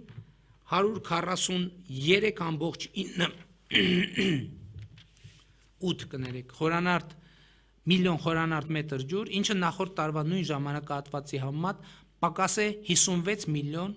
խորանարդ մետրով։ Նման դրական ցուցանիշ չի արձանագրվել 2010 թվականից ի վեր։ Օրենքով նախատեսված 170 միլիոն խորանարդ մետր ջրից 26 միլիոն խորանարդ մետր պակաս է բաց թողնվել։ Օրենսդրական փոփոխության արդյունքում Սևանա լճից հավելյալ ջրառ իրականացնելու համար կառավարությունն ազգային ժողովին կարող է դիմել միայն այն դեպքում, եթե պաշտոնապես երաշտ է հայտարարվել։ Ուրեմն նախորդ տարի չնայած շատ սուղ պայմաններին մենք 26 օրենքով նախատեսվածից 26 միլիոն խորանարդ մետր ջուր պակաս ենք բաց թողել։ Չնայած ըստ էության նախորդ տարին ջրի մատակարարման առումով ավելի վատ չի եղել, քան նախորդ տարիները, եթե չասենք, որ ակնհայտորեն ավելի լավ է եղել։ Փաստ համար 60 2019-ի առաջին 9 ամիսների ընթացքում Հայաստանում էլեկտրաէներգիայի սպառումը 2018-ի համեմատ ավելացել է 5.8%-ով։ Հատկանշական է, որ նախորդ տարվա հունվար-նոյեմբեր ամիսներին արևային էլեկտրակայանների կողմից արտադրված էլեկտրաէներգիայի ծավալը նախորդ տարվա համեմատ ավելացել է 2.6 անգամ, իսկ հողմային էլեկտրակայանների արտադրանքը 2.1 անգամ։ Փաստ համար 61 Շրջակա միջավայրի նախարարությունը մեկնարկել է 2.5 միլիոն դոլար արժողությամբ նոր միջազգային դրամաշնորհային ծրագիր, որը կիրականացվի Խոսրովի անտառ պետական արգելոցի, Դիլիջան ազգային պարկի հարակից Դիլիջան, Ֆիոլետովո, Մարգահովիտ եւ Ուրցաձոր համայնքներում, Ուրցաձորը Խոսրովի մերձակա։ Ծրագիրը ունի սոցիալ-տնտեսական բովանդակություն, անտարամերձ տարածքների բնակիչներին եկամտի այլ աղբյուրներ ի ցույց դնելու եւ այս հարցում նրանց աջակցելու միտված։ Կառավարության մշակված 10 միլիոն ծառատունք ծրագիրը, որի նպատակն է միջև 2020 թվականի հոկտեմբերի տակ ս Հայաստանի ամբողջ տարածքում տնկել 10 միլիոն ծառ, արդեն գործնական փուլ է մտել։ Որոշ ընկերություններ արդեն պատրաստակամություն են հայտնել մասնակցելու ծառատունկին, տնկիներ ձեռք բերելու համար համաձայնություններ են ձեռք բերվել։ 2019 թվականին առաջին անգամ, առաջին անգամ պետական բյուջեից անտառավերականգնման եւ անտառապատման աշխատանքների կատարման նպատակով հանտար պոակին հատկացվել է 424 միլիոն դրամ, որի շրջանակներում իրականացվել են հետեւյալ աշխատանքները. 150 հեկտար անտառապատում, որից 10 հեկտարը ցանքցի, 140 հեկտարը տնկման միջոցով։ 200 հեկտար բնական վերաճի օժանդակում հանքայնացման միջոցով 460 հեկտար կոճղաշիվային վերականգնման աջակցում 26 հեկտար նախորդ տարիներին հիմնադրված անտառների լրացում 5.5 հեկտար տնկարանի ցանքս 28000 կիլոգրամ անտառային սերմերի մթերում։ Այս ընթացքում նաև այս ծրագրով գնվել է 8 տրակտոր, 8 անտառային գութան, 8 գյուղատնտեսական գութան, 4 փոսահատ մեքենա, 21 տոննա տորֆ։ Աշխատանքների իրականացման համար 940 մարդ ընդունվել է սեզոնային աշխատանքի Հայաստանի մի քանի մարզերում։ Փաստ համար 62 2019 թվականին 2017-ի համեմատ Փայտածուխի ներկրումը Հայաստան աճել է 6.2 անգամ կամ ավելի քան 500%-ով։ Ներմուծող ընկերությունների թիվը աճել է 22.6%-ով։ 2017-ի 53 ընկերության փոխարեն 2018-ի 65 ընկերություն։ Ինչ վերաբերվում է շինափայտին, 2019 թվականի 10 ամիսների կտրվածքով ներմուծվել է նույնքան շինափայտ, ինչ ողջ 2018 թվականի ընթացքում։ Իսկ 2017-ի ամբողջ տարվա համեմատ այս տարվա 10 ամիսներին ավել է ներկրվել 77%-ով ավելի շինափայտ, իսկ ներմուծող ընկերությունների թիվը ավելացել է 51%-ով կամ 70 ընկերությունով, 206 ընկերություն նախկին 136-ի փոխարեն։ Այս թվերը նշանակում են, որ Հայաստանի անտառների պահպանման ուղված կառավարության քաղաքականությունը արդյունավետ է։ Այդ թվում հաղթահարվել են վերը նշված շուկաներում մենաշնորային դրսևորումները։ Փաստ համար 63 Վերջին ամիսներին Հայաստանում ընթանում են հնամաշ ավտոմեքենաների թափքերի ուտիլիզացման ակտիվ աշխատանքներ։ 2019-ի օգոստոս-դեկտեմբեր ամիսների ընթացքում հավաքվել է շուրջ 21000 լքված մեքենայի կմախք։ Այս ուղությամբ աշխատանքները շարունակվում են։ Փաստ համար 64 Հատուկ քնչական ծառայության 2019 թվականի գործունեության ընթացքում վերականգնված գումարը կազմել է 4 միլիարդ 331 միլիոն դրամ։ Միայն նախորդ տարվա վերականգնված գումարը 7 անգամ ավել է, քան նախորդ նախորդող 11 տարիների ընթացքում ծառայությունում քնված քրեական գործերով վերականգնված գումարը միասին վերցրած, որը կազմել է 597.6 միլիոն դրամ։ Ընդ որում ազգային ժողովում ես սխալ ասացի, ես ասացի այս տարի ավելա քան հատուկ քնչական ծառայության, գոյության, պատմության ողջ ընթացքում, բայց պետք է ասելի այս այս տարի 7 անգամ ավել է, քան հատուկ քնչական ծառայության, գոյության նախորդ նախորդ ողջ շրջանում։ Նաև Ծաղկաձորի Golden Palace հյուրանոցը դարձել է պետական, այն աճուրդի է դրել դրվել 7.5 միլիարդ դրամ, դրամ մեկնարկային գնով։ Փաստ համար 65 Պետական եկամուտների կոմիտեի իրավական գործառույթի իրականացման արդյունքում 2019 թվականին պետական բյուջե է գանձվել 50.9 միլիարդ դրամ, որը 2018 թվականի ցուցանիշը գերազանցում է 60%-ով, 2017 թվականի ցուցանիշը 90%-ով։ Սա թաքցված հայտ, հարկերի հայտնաբերման գործընթացն է։ Փաստ համար 66 բացահայտվել են օտարերկրացիների կողմից Հայաստանի օրենսդրության կոպիտ խախտմամբ բազմաթիվ երեխաների ворթեգրման դեպքեր։ Ըստ ձեռք բերված փաստական տվյալների Հայաստանի երկու քաղաքացիներ օգտագործելով իրենց կապերը հանրապետական մանկաբարձական հաստատություններից մեկում մի շարք գերատեսչություններում, ինչպես նաև մանկատներում օրենսդրության կոպիտ խախտմամբ կազմակերպել են Հայաստանի քաղաքացի հանդիսացող 3 տասնյակից ավելի երեխաների ворթեգրումներ ապօրինի օտարերկրյա քաղաքացիների կողմից։ Փաստ համար 67 Վերջին երկու տարվա ընթացքում պետական եւ համայնքային բյուջեից ֆինանսավորվող հաստատություններում գրանցված Սակայն այն աշխատանքի չհաճախած կամ փաստացի աշխատանք չկատարած աշխատողների եւ նրանց անվամբ ձևակերպված աշխատավարձերի արձանագրված հապշտակության կամ կոռուպցիոն այլ դեպքերի վերաբերյալ Հայաստանի իրավասու մարմինների վարույթում հարուցվել է 250 54 քրեական գործ, որից 129-ը վերաբերվել են կրթական հաստատություններում գրանցված աշխատողներին։ Հարուցված քրեական գործերով բացահայտվել են 543 գրանցված Սակայն աշխատանքի չհաճախած փաստացի աշխատանքը չկատարած անձինք, նրանցից 222-ը հանդիսացել են կրթական հաստատություններում գրանցված աշխատողներ։ Սա այն դեպքերն է, երբ որ համանքի որոշ համանքի ղեկավարներ, որոշ դպրոցի տնօրեններ իրանց բարեկամներին, ընկերներին, մոտիկներին բերում են գրանցում են հաստատություններում, բյուջետային հիմնարկներում եւ նրանց աշխատավարձ են վճարում չկատարած աշխատանքի դիմաց։ Եվ այս ուղությամբ բացահայտումները շարունակվելու են։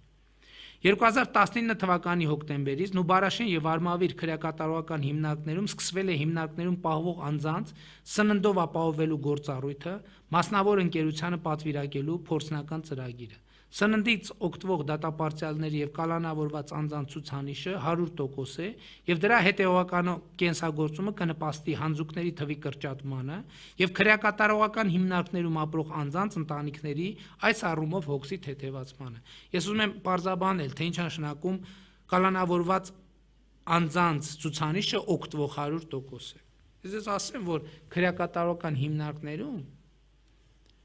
Մինչև այս ավանդույթի ներդրումը դատապարտյալները սովորաբար այդ ճաշարաններում հաց չեն ուտում իրանք, որովհետև այնտեղի ուտելիքը ուղղակի պիտանի չի ուտելու համար։ Եվ երբ որ ասում է 100% դատապարտյալները մասնակցում են, նշանակում սնունդը այնքան լավն է, որ մարդկանց մարդիկ ուղղակի գնում են եւ օգտվում են։ Եվ ես ուզում եմ ասել, որ սա նաեւ քրեակցին մտածելակերպի եւ արժե համակարգի դեմ մեր պայքարի շատ կարևոր օղակներից է, որովհետև մենք չենք միայն այսպես ռեպրեսիվ process-ներ հարուցում։ Մենք ուզում ենք նաև քրեակատարողական հիմնարկներում մարդկանց պահման արժանապատիվ պայմաններ ապահովել, որ เป զի նրանք այդ քրեական մշակույթից վերադառնան նորմալ քաղաքացիական մշակույթի։ Փաստ համար 69 2020-ի հունվարի 1-ից գործարկվել է ճանապարհային երթևեկության կանոնակարգման բալային համակարգը, որի նպատակն է բարձրացնել երթևեկության անվտանգության ապահովման ոլորտում վարչական պատասխանատվության քաղաքականության արդյունավետությունը, բացառելով նախկինում գործող քաղաքացիներին հետապնդելու եւ տուգանելու նպատակադրման բաղադրատարը։ Նոր համակարգը միտված է վարչական իրավախախտումների ընդհանուր եւ անհատական կանխարգելմանը, վարչական պատասխանատվության միջոցների ուղիչ գործառույթի ապահովմանը, ինչպես նաև քաղաքացիների սոցիալական բեռի թեթևացմանը։ Հիմա հիշում եք, որ եւ հեղափոխության ժամանակ եւ դրանից հետո հայտարարել են, որ Հայաստանի Հանրապետության քաղաքացին չպետք է կներեք այդ բառի համար, ուղղակի նույն բառը օգտագործեմ իշ նախկինում, տուգանելու մատերիալ լինի։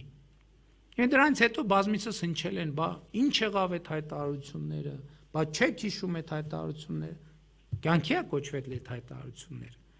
Նախքին համակարգը ինչ էր։ Մենք քաղաքացուն ասում ենք դու խնդրեմ չունես։ Դու գանվի, էլի դու գանվի, էլի դու գանվի, 100.000 դու գանվի, 500.000 դու գանվի։ Ինչ ուզում ես արա, ինչքան շատ դու գանվես, այնքան մեր օգուտն է։ Այս փոփոխության արդյունքում մենք երկու սկզբունքային բան ենք փոխել։ Առաջինը առավելագույն տուգանքի չափը սահմանել ենք 29000 դրամ, այսինքն Հայաստանի Հանրապետության քաղաքացին ճանապարհային երթևեկության կանոնի որևէ խախտման համար չի կարող տուգանվել ավելի, քան 29000 դրամը։ Եվ երկրորդը ասել են եղբայր, եթե դու 1, 2, 3, 4, 5, 6, 7, 8, 9 տուգանվում ես, կամ քույր։ Ուրեմն երթևեկության անվտանգության հետ կապված խնդրեմ եք ստեղծում դուք։ Դրա համար մենք ձեզ զրկում ենք։ Սա է գործնական ու իրագործումը քաղաքական են շեշտադրման, որ Հայաստանի քաղաքացին դուգանվելու մատերիալ չի։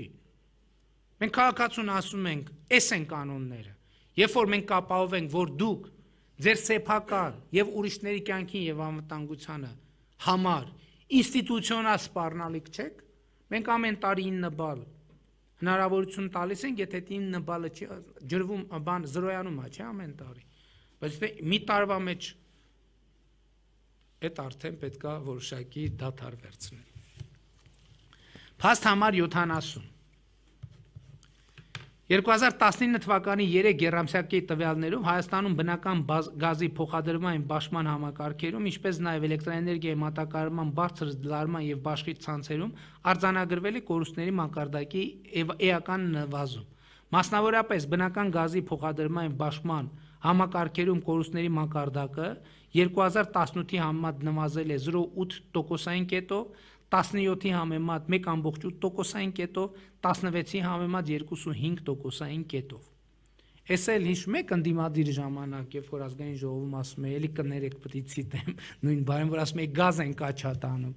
Էս էլ այդ քննադատության կոնկրետ արտահայտությունն է։ Եվ մենք հիմա բոլոր հնարավոր այդ տեղերը, այդ բոլոր հնարավոր վինտիլները փակում ենք։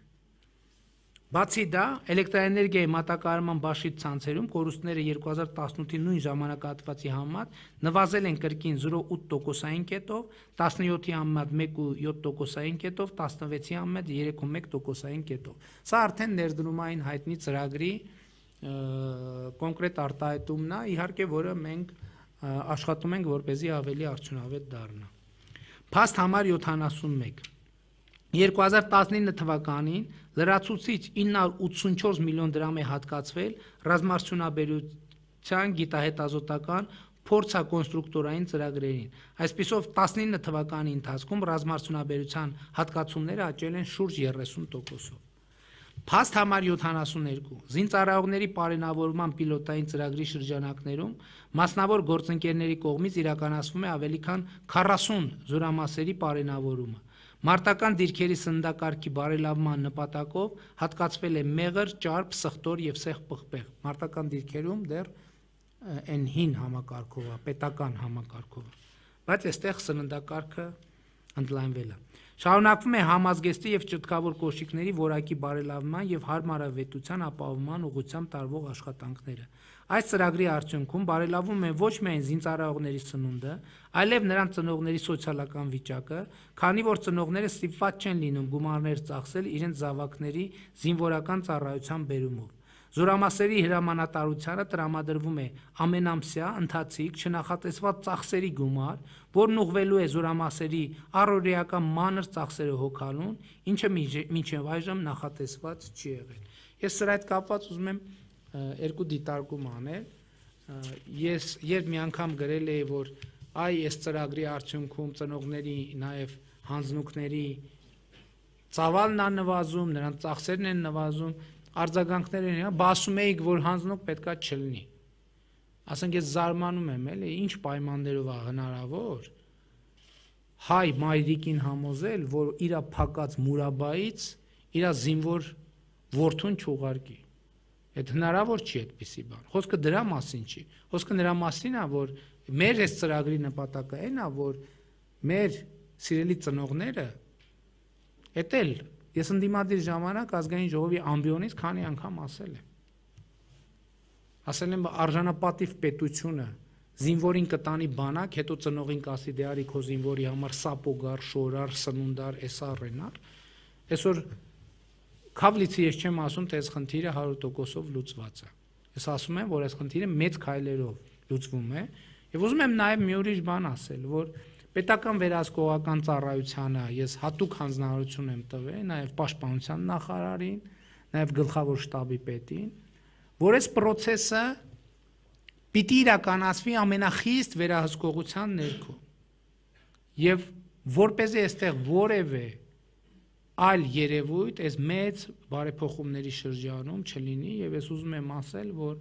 այս process-ի վերահսկողությունը նկատմամբ իհարկե կա խիստ հսկողությունը, բայց գնալով այդ հսկողությունը ավելի ու ավելի խիստ է դառնալու։ Փաստ համար 73 2019 թվականի սեպտեմբերի 24-ից հոկտեմբերի 5-ը Հայաստանում եւ Արցախում անցկացվել են աննախադեպ ծավալների զորավարժություններ։ Զորավարժությունների ամենակարևոր արդյունքներից է եղել այն, որ ոչ միայն մեր ընդհանուր վստահությունն է ավելացել մեր զինված ուժերի նկատմամբ, կազմակերպչական ռեսուրսների նկատմամբ, այլև նաև մեր զինված ուժերի անձնակազմի, նույնիսկ շարքային կազմի վստահությունն է ավելացել սեփական ուժերի նկատմամբ։ Փաստ համար 74 ԱՄՆ կոնգրեսի երկու պալատները, ներկայացուցիչների պալատը եւ սենատն ընդունել են հայոց ցեղասպանությունը ճանաչող եւ դատապարտող բանաձևեր։ Պետք է արձանագրել, որ ԱՄՆ կոնգրեսի կողմից հայոց ցեղասպանության ճանաչումը հայկական լոբիստական կազմակերպությունների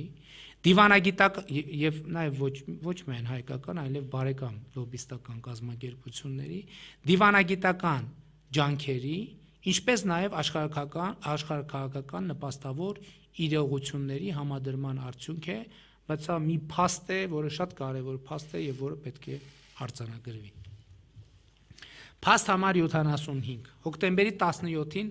Հայաստանն ընտրվել է աշխարհում մարդու իրավունքների առաջ մղման եւ պաշտպանման հարցերով զբաղվող գլխավոր մարմնի ՄԱԿ-ի մարդու իրավունքների խորհրդի անդամ 2020-ից 22 թվականների համար։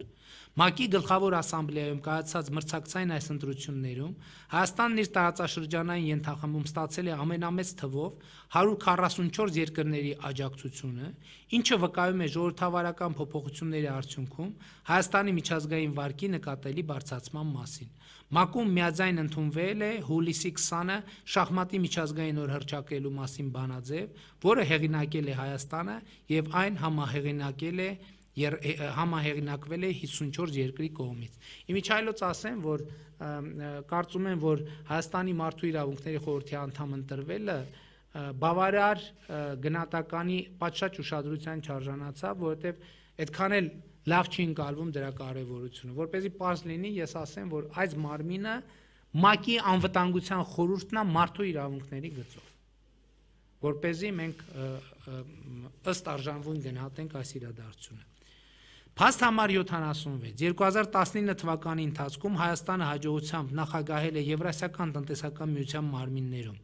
Հոկտեմբերի 1-ին Երևանում կայացած Եվրասիական տնտեսական բարձրագույն խորհրդի նիստին, բացի ԵԱՏՄ երկրների ղեկավարներից, նախագահող Հայաստանի հրավերով մասնակցել են Սինգապուրի վարչապետը, Իրանի եւ Մոլդովայի նախագահները։ Երևանում ԵԱՏՄ եւ Սինգապուրի միջև ստորագրվել են ազատ առևտրի եւ համապարփակ տնտեսական համագործակցության մասին համաձայնագրեր, որոնք կնպաստեն միության երկրների եւ աշխարհի հզորագույն տնտեսություններից մեկի միջև ապրանքաշրջանառության աճին։ 2019 թվականի հոկտեմբերի 1-ին Երևանում անցկացված Գագաթաժողովը կազմակերպության պատմության ողջ ընթացքում աննախադեպ է եղել իր ծավալներով։ Այսինքն ԵԱՏՄ շրջանակներում այդպիսի մասշտաբային գագաթաժողով երբեք նախկինում չի իրականացվել։ Փաստ համար 77 2019-ի հոկտեմբերի 6-ից 9 տեղեկատվական տեխնոլոգիաների համաշխարհային համաժողովի շրջանակներում Աշխարհի շուրջ 70 երկրից Հայաստան ժամանեցին ավելի քան 2500 մասնագետներ, ինչպես նաև 20 երկրներից նախարարական պատվիրակություններ։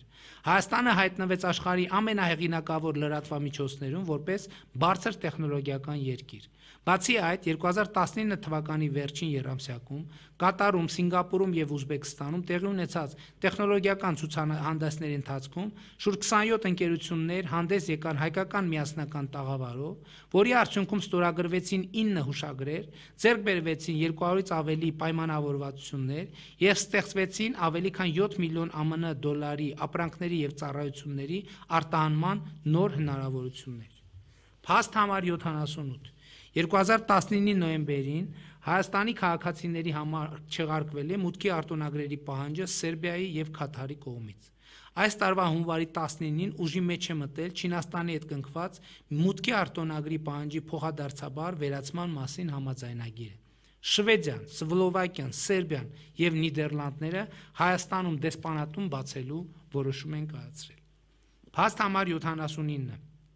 Շարունակվել է Հայաստանի զինված ուժերի զորախմբերի մասնակցությունը միջազգային առաքելություններին, ինչպես նաև հայ մասնագետների հումանիտար առաքելությունը Սիրիայում, որտեղ հայ մասնագետներն առաքելության մեկնարկից ի վեր միջև օրս տեխնիկական հետազոտության եւ մաքրման աշխատանքների ժամանակ ակազմնազերծել են 124000 քառակուսի մետր տարածք Մարդասիրական խմբի բժիշկները թերապևտիկ եւ վիրաբուժական բնույթի բուժօգնություն են ցուցաբերել ավելի քան 8500 քաղաքացիների։ Փաստ համար 80 շատ կարևոր փաստ։ Համայկական հիմնադրամի մարաթոնին մասնակցած Հայաստանի քաղաքացիների եւ կազմակերպությունների թվի դինամիկան 2017 թվականին 3240 2018 թվականին 5994, 2019 թվականին 9644, նախորդ տարվա համեմատ ավել է 60%-ով, 2017-ի համեմատ 197%-ով։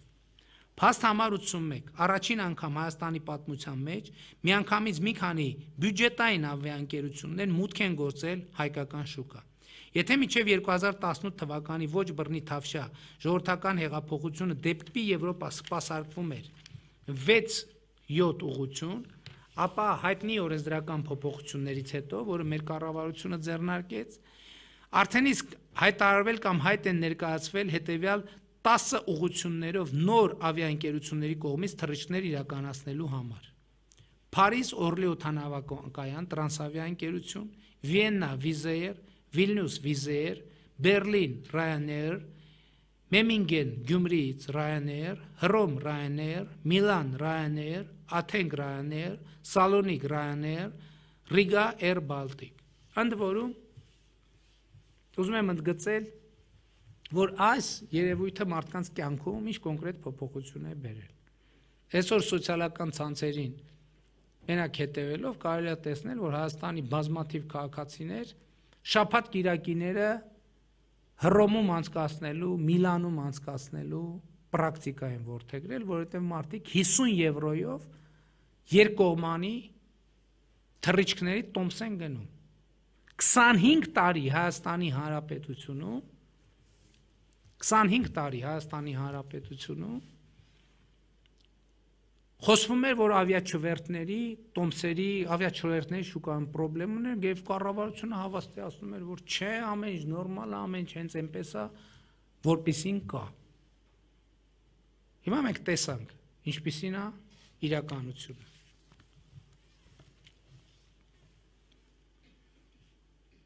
Փաստ համար 82 2019 հունվար-սեպտեմբեր ամիսներին ԵՄ երկրներում առաջին անգամ անպաստան հայցած Հայաստանի Հանրապետության քաղաքացիների թիվը 2018-ի համեմատ նվազել է 29%-ով, 2017-ի համեմատ 47%-ով, իսկ 2016-ի համեմատ 56%-ով։ ԵՄ երկրներից ապաստան հայցած քաղաքացիների թիվն այս տարվա առաջին 9 ամիսներին կազմել է 2670 մարդ։ Փաստ համար 83 Ֆիչ վարկանիշային կազմակերպությունը երկար դաթարից հետո բարձրացրել է Հայաստանի սուվերեն վարկանիշը B+-ից դարձնելով BB- կայուն հերանեկարով։ Վարկանիշի բարձրացումը շատ կարևոր է այն իմաստով, որ նախ Հայաստանը հնարավորություն կունենա միջազգային կապիտալի շուկայից ներգրավել համեմատաբար ավելի էժան փոխառություններ կամ վերաֆինանսավորել եղած վարկերը առավել մատչերի պայմաններով եւ երկրորդը վարկանիշի բարձրացման Հայաստանն ավելի վստահելի եւ գրավիչ է դառնում ներդրողների համար։ Օգոստոսին Հայաստանի սուվերեն վարկանիշը բարձրացրել էր նաև Moody's վարկանիշային կազմակերպությունը։ Միջազգային ֆինանսատնտեսական կառույցների կողմից բարձրացվել են Հայաստանի տնտեսական աճի գնահատականները եւ կանխատեսումները 2020 եւ 2021 թվականների համար, այն դեպքում, երբ համաշխարհային տնտեսության եւ տարածաշրջանային երկրների համար այդ կանխատեսումները հիմնականում նվազեցվել են։ Այսինքն պատկերացնում եք աշխարհի միտումը եւ մեր տարածաշրջանի միտումն այնա, որ միջազգային կազմակերպությունները տնտեսական աճի գնահատականները նվազեցնում են, մեր դեպքում բարձրացնում են։ Տնտեսական հեղափոխությունը պոզով փոչով մեծ կենթանի է։ Համաշխարհային բանկը եւ արժույթի միջազգային հիմնադրամը Հայաստանի համար առաջիկա 2 տարում կանխատեսում են մի կողմից արտահանման, ներդրումների ծավալների բարելավում եւ մյուս կողմից որպես դրա արդյունք աղքատության եւ գործազրկության նվազում։ Փաստ համար 84 ըստ Freedom House կազմակերպ կազմակերպության 2019 թվականի զեկույցի Հայաստանը համացանցի ազատության ինդեքսով դասվում է ազատ երկրների շարքին, Ֆրանսիայի հետ կիսելով 8-րդ հորիզոնականը աշխարհում։ Այս ցուցանիշով Հայաստանը տարածաշրջանում առաջատարն է։ Պատկերացնում եք աշխարհի 8 ամենաազատ երկրների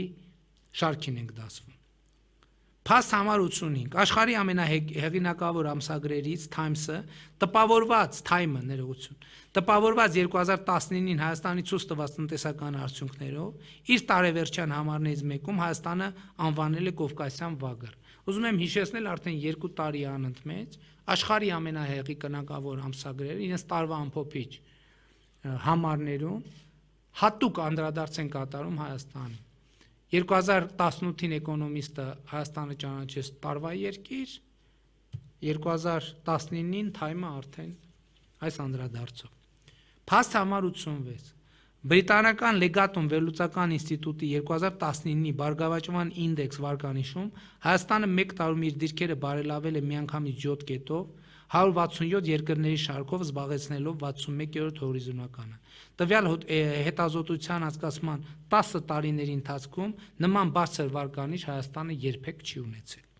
Փաստ համար 87 ըստ Gallup ամերիկյան ինստիտուտի հրապարակած Օրենք եւ կարգապահություն 2019 ամենամյա զեկույցի Հայաստանն ամենից ապահով երկրների շարքում զբաղեցնում է 7-րդ տեղը, այն կիսելով Շվեյցարիայի հետ։ Ընդհանուր առմամբ անվտանգության ինդեքսում Հայաստանը 85 բալ է հավաքել, կիսելով 11-րդ տեղը մի շարք եվրոպական երկրների, Ճապոնիան, Ճապոնիայի եւ Սաուդյան Արաբիայի հետ։ Փաստ համար 88 ՄԱԿ-ի սննդամթերքի համաշխարհային կազմակերպության ամենամսյա զեկույցի համաձայն 2019 թվականի հոկտեմբերին անցած տարվա հոկտեմբերի համեմատ սննդամթերքի համաշխարհային գները աճել են 6%-ով, մինչդեռ Հայաստանում 2019-ի դեկտեմբերին նախորդող տարվա նույն ժամանակահատվածի համեմատ սննդամթերքի եւ ոչ ալկոհոլային խմիչքների ապրանքախմբում արձանագրվել է 0.3% գնանկում։ Պատկերացնում եք ամբողջ աշխարհում սննդամթերքը թանկանում է, Հայաստանում սննդամթերքի գինը նվազում է։ Սա ակնհայտորեն կառավարության վարած հակամենաշնորհային քաղաքականության արդյունք է։ Փաստ համար 89 Հայաստանում փոխվել է բարձր պաշտոններում կադրերի ընտրության սկզբունքը։ Երկու օրինակ՝ ընդդիմության կողմից առաջադրված տեխնացուն ընտրվել է կոռուպցիայի կանխարգելման հանձնաժողովի նախագահ, կադաստրի կոմիտեի ղեկավարի ընտրությունը կատարվել է կադրերի բանկից։ Փաստ համար 90 Ամանորյա միջոցառումները աննախադեպ բարձր մակարդակով իրականացնելու համար կառավարությունը Երևանի քաղաքապետարին քաղաքապետարանին տրամադրել է 271 միլիոն դրամ։ Դեկտեմբերի 31-ի գիշերը վարչապետի Ամանորյա շնորհավորական ուղերձը հերարցակվեց ուղիղ եթերում բազմամարդ հանրապետության հրապարակից։ Սրա հետ կապված տնտեսական էֆեկտի մասին ես ասել եմ, որ մենք 271 միլիոն դրամ ծախսելով 9 միլիարդ դրամի հավելյալ առևտրաշրջանառություն ենք ապահովել եւ 320 մինիմում 320 միլիոն դրամի հարկա հարկ են գեներացրել։ Այսինքն մեր ծախսած 271 միլիոն դրամը արդեն հունվարին, հունվար փետրվարին հարկերի տեսքով վերադառնալու է 325 միլիոն դրամի տեսքով։ Ոստեղ էլի հիշում եմ բանը 10 մնասի առակը նոր կտակարարի։ Ավելի քան 20000 մարդ է մասնակցել Լոս Անջելեսի Գրանդ Փարքում Հայաստանի վարչապետ Նիկոլ Փաշինյանի հրավիրած հանրահավաքին։ Հայաստանի ղեկավարի մասնակցությամբ նման մասշտաբի միջոցառում Սփյուռքում երբեք տեղի չէր ունեցել։ Փաստ համար 91 Հայաստանի պատմության մեջ առաջին անգամ երկրի գործող ղեկավարը քնչական կոմիտեի հրավերով ներկայացել է նախաքննության մարմնի գրասենյակ եւ քննիչի աշխատասենյակում հարցաքննվել։ Իդեպ երեկել այդ ինձ հրավիրել են հատուկ քնչական ծառայություն, չգիտեմ այդ մասին եղել է ինչ որ տեղեկատվություն։ Եվ հատուկ քնչական քնչական ծառայությունում եմ հարցակնվել եւ շատ հետաքրքիր արձագանքը։ Ես ուրեմն հրաապարակում եմ իմ նկարը քննիչի սենյակից, որտեղ ես նստած եմ, քննիչը նստած է եւ պատասխանում եմ։ Հարցակնվում եմ եւ արձագանքում եմ։ Ասում են արա դեսի թատրոն արա թատ։ Մենք կարող բացատրեք ինչն է թատրոն։ Վկային կանչել են, վկան գնացել է քննիչի սենյակ։ Ինչպես մնացած Հայաստանի Հանրապետության բոլոր վկաները նստելա քննիչի սենյակում հարց հարցատվե պատասխանելը, հարցատվե պատասխանելը։ Այստեղ թատրոնը ո՞րն է։ Իհարկե կարող էին անել։ Ես որ բան չէի, վարչապետ չէի, ելի եմ սելֆի արել։ Կամ ամենայն դեպս այդ սելֆի, որ արել եմ, դա հաճույքի համար չի արվել։ Այլ արվել է նրա համար, որ այն մյուս պաշտոնյաները ավանդական մտածողությամբ ում հրավիրում են քնչական կոմիտե կամ այլ իրավապահ մարմիններ, իրանց արժանապատվությունից վեր չհամարել, գնան կամ խնդրեմ չսարքեն, չմիշնորթեն, որ լավ թող քննիչը գա իմ սենյակում հարցակննի կամ ուրիշ տեղ։ Եթե Հայաստանի վարչապետը գնում է քննիչի սենյակում հարց, երեգել առանց սելֆի գնացել եմ քննիչի սենյակում, նստել եմ իր դիմաց եւ պատասխանել եմ իր հարցերին։ Սա թատրոնի հարց չի, սա արժեքի հարց է։ Թե ես ինչ եմ ուզում ի ցույց դնել Հայաստանի Հանրապետության քաղաքացիներին։ Ինչի ձեր կարծիքով չէր կարող քննի չգալ իմ սենյակում հարցակններ, ոչ սելֆի կլներ, ոչ հիվմանել չէր լինի։ Այսինքն այդ սելֆին հաճույքի համար են անում։ Ձեր կարծիքով այդ Facebook-յան էջում ես ինչ որ գրում եմ հաճույքի համար եմ անում։ Կամ բանը հիշեցի, որ որ կարքին հաղորդումից նոր տարվա նոր տարվանից առաջ մի հատ սկեչ էի դրել արձագանքեր, ինչպիսի անլուրջ ան, շատ կոնկրետ ուղերձ էր դրա մեջ։ Ես դրանով ցանկացել էի մեր բոլորի ուշադրությունը հravirել սնվելու մեր կուլտուրայի վրա, որ իրականում շատ մեծ քաղաքակրթական խնդրեմ է, առողջական խնդրեմ է, տնտեսական խնդրեմ է։ Եվ Հայաստանի Հայաստանի որոշ շրջանակներ չեն կարողանում համակերպվել այն մտքի հետ, որ Հայաստանի Հանրապետության ղեկավարը կարող է նաև հումորի զգացում ունը, պատկերացնի ինչ կատաստրոֆա է։ Բայց քարփինջը ինչի համար է, որ Հայաստանի Հանրապետության վարչապետը հումորի զգացում ունենա։ Նկատի ունեմ քարփինջ դեմքի արտահայտություն։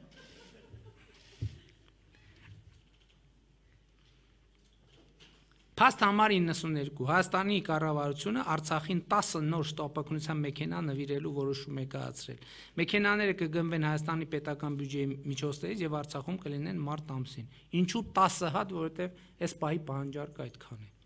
Փաստ համար 93 2019 թվականի ընթացքում հայոց բանակում զինծառայության հետ կապված զոհերի պատմական մինիմում է արձանագրվել։ Այսինքն մեր բանակում երբեք ավելի քիչ զոհ չի եղել, քան 2019 թվականին։ Սրա հետ կապված էլ եղավ քննարկումներ,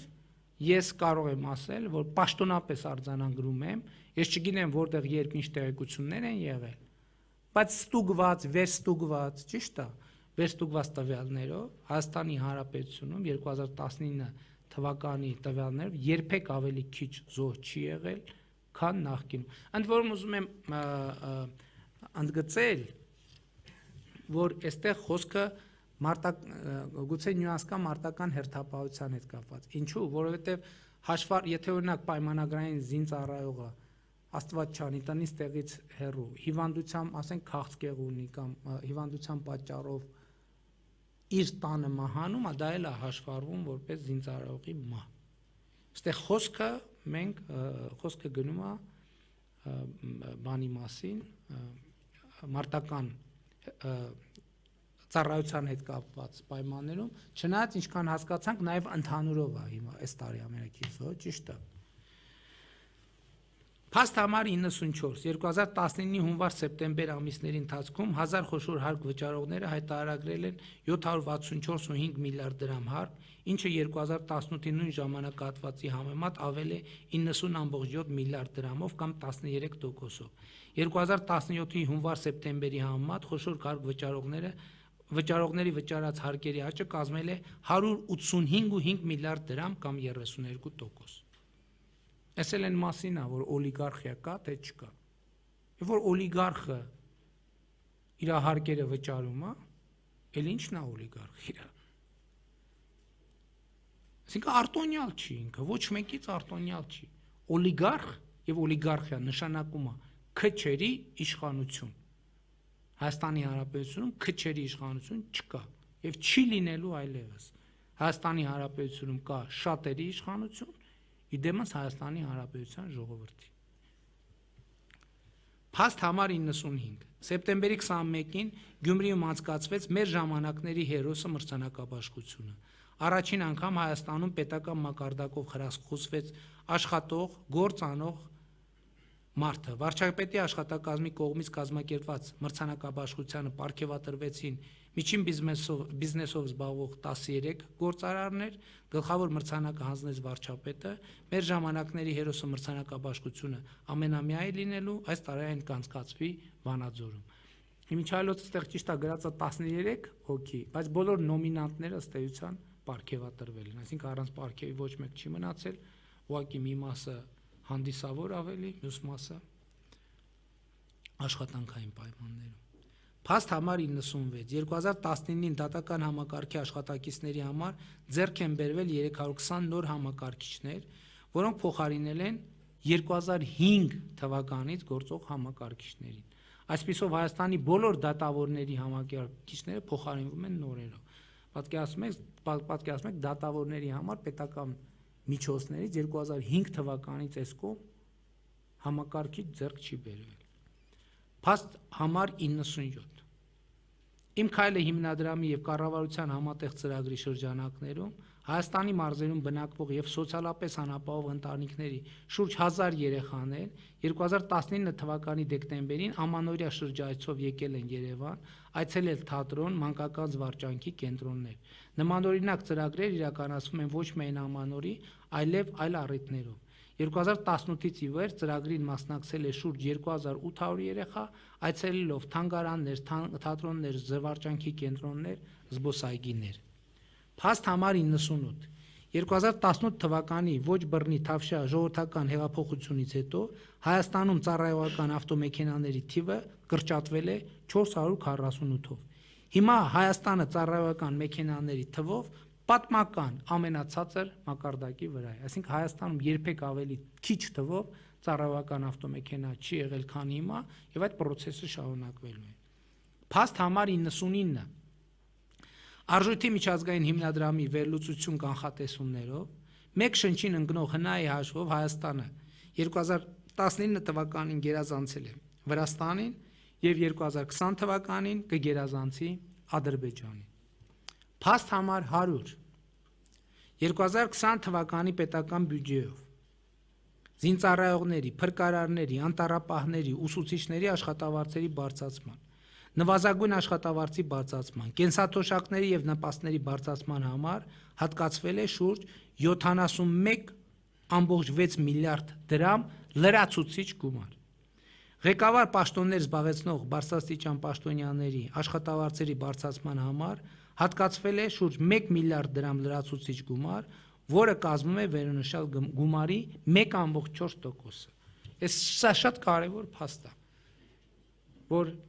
այնպիսի տպավորություն է, թե Հայաստանում նախարարների աշխատավարձը բարձրացվել է եւ գրում են պետական բյուջեի միջոցները մսխվում են նախարարների աշխատավարձերի բարձրացման վրա։ Ոչ սոցիալական տարբեր խմբերի աջակցության համար 71 անգամ ավել շատ գումար է տրամադրվել եւ պաշտոնյաների աշխատավարձերի հարցը լուծվել է, որ เป զի նրանք 100%-ով կենտրոնանա եւ կոնցենտրացված լինեն Հայաստանի Հանրապետության քաղաքացիների ժողովրդի կարիքները հոգալու եւ բավարարելու համար եւ ես կարծում եմ որ անկեղծ պիտի ասեմ եթե օրինակ դա լիներ կառավարության եւ վարչապետի որոշման տիրույթում ես կոնկրետ դեպքեր կան, բայց նշեմ օրինակ Երևանի քաղաքապետի եւ քաղաքապետի տեղակալների աշխատավարձերը իմ որոշմամբ կբարձրացնեի, բայց ցավոք սրտի դա կառավարության որոշման տիրույթում չի, ես հույս ունեմ, որ առաջիկայում ավագանին այդպիսի որոշում կկայացնի, որովհետեւ եւ ավագանին եւ Երևանի քաղաքապետն ու տեղակալը իրենց աշխատանքով արժանացել են այդպիսի որոշում։ Եվ ամենամեծ ճգնաժամերից մեկը աղբի ճգնաժամը բարձր մակարդակով ինստիտուցիոնալ ձևով լուծվել է եւ մյուս խնդիրներն էլ բարձր մակարդակով եւ ինստիտուցիոնալ ձևով լուծվում են եւ կլուծվեն։ Շնորհակալություն, սիրելի հայրենակիցներ, այստեղ ես ելի տվյալներ ունեմ, որոնք վերաբերվում են Սյունիքի մարզին 1-2 ծրագիր ուղակի ասեմ, որ Մեղրիում գյուղատնտեսական շուկայի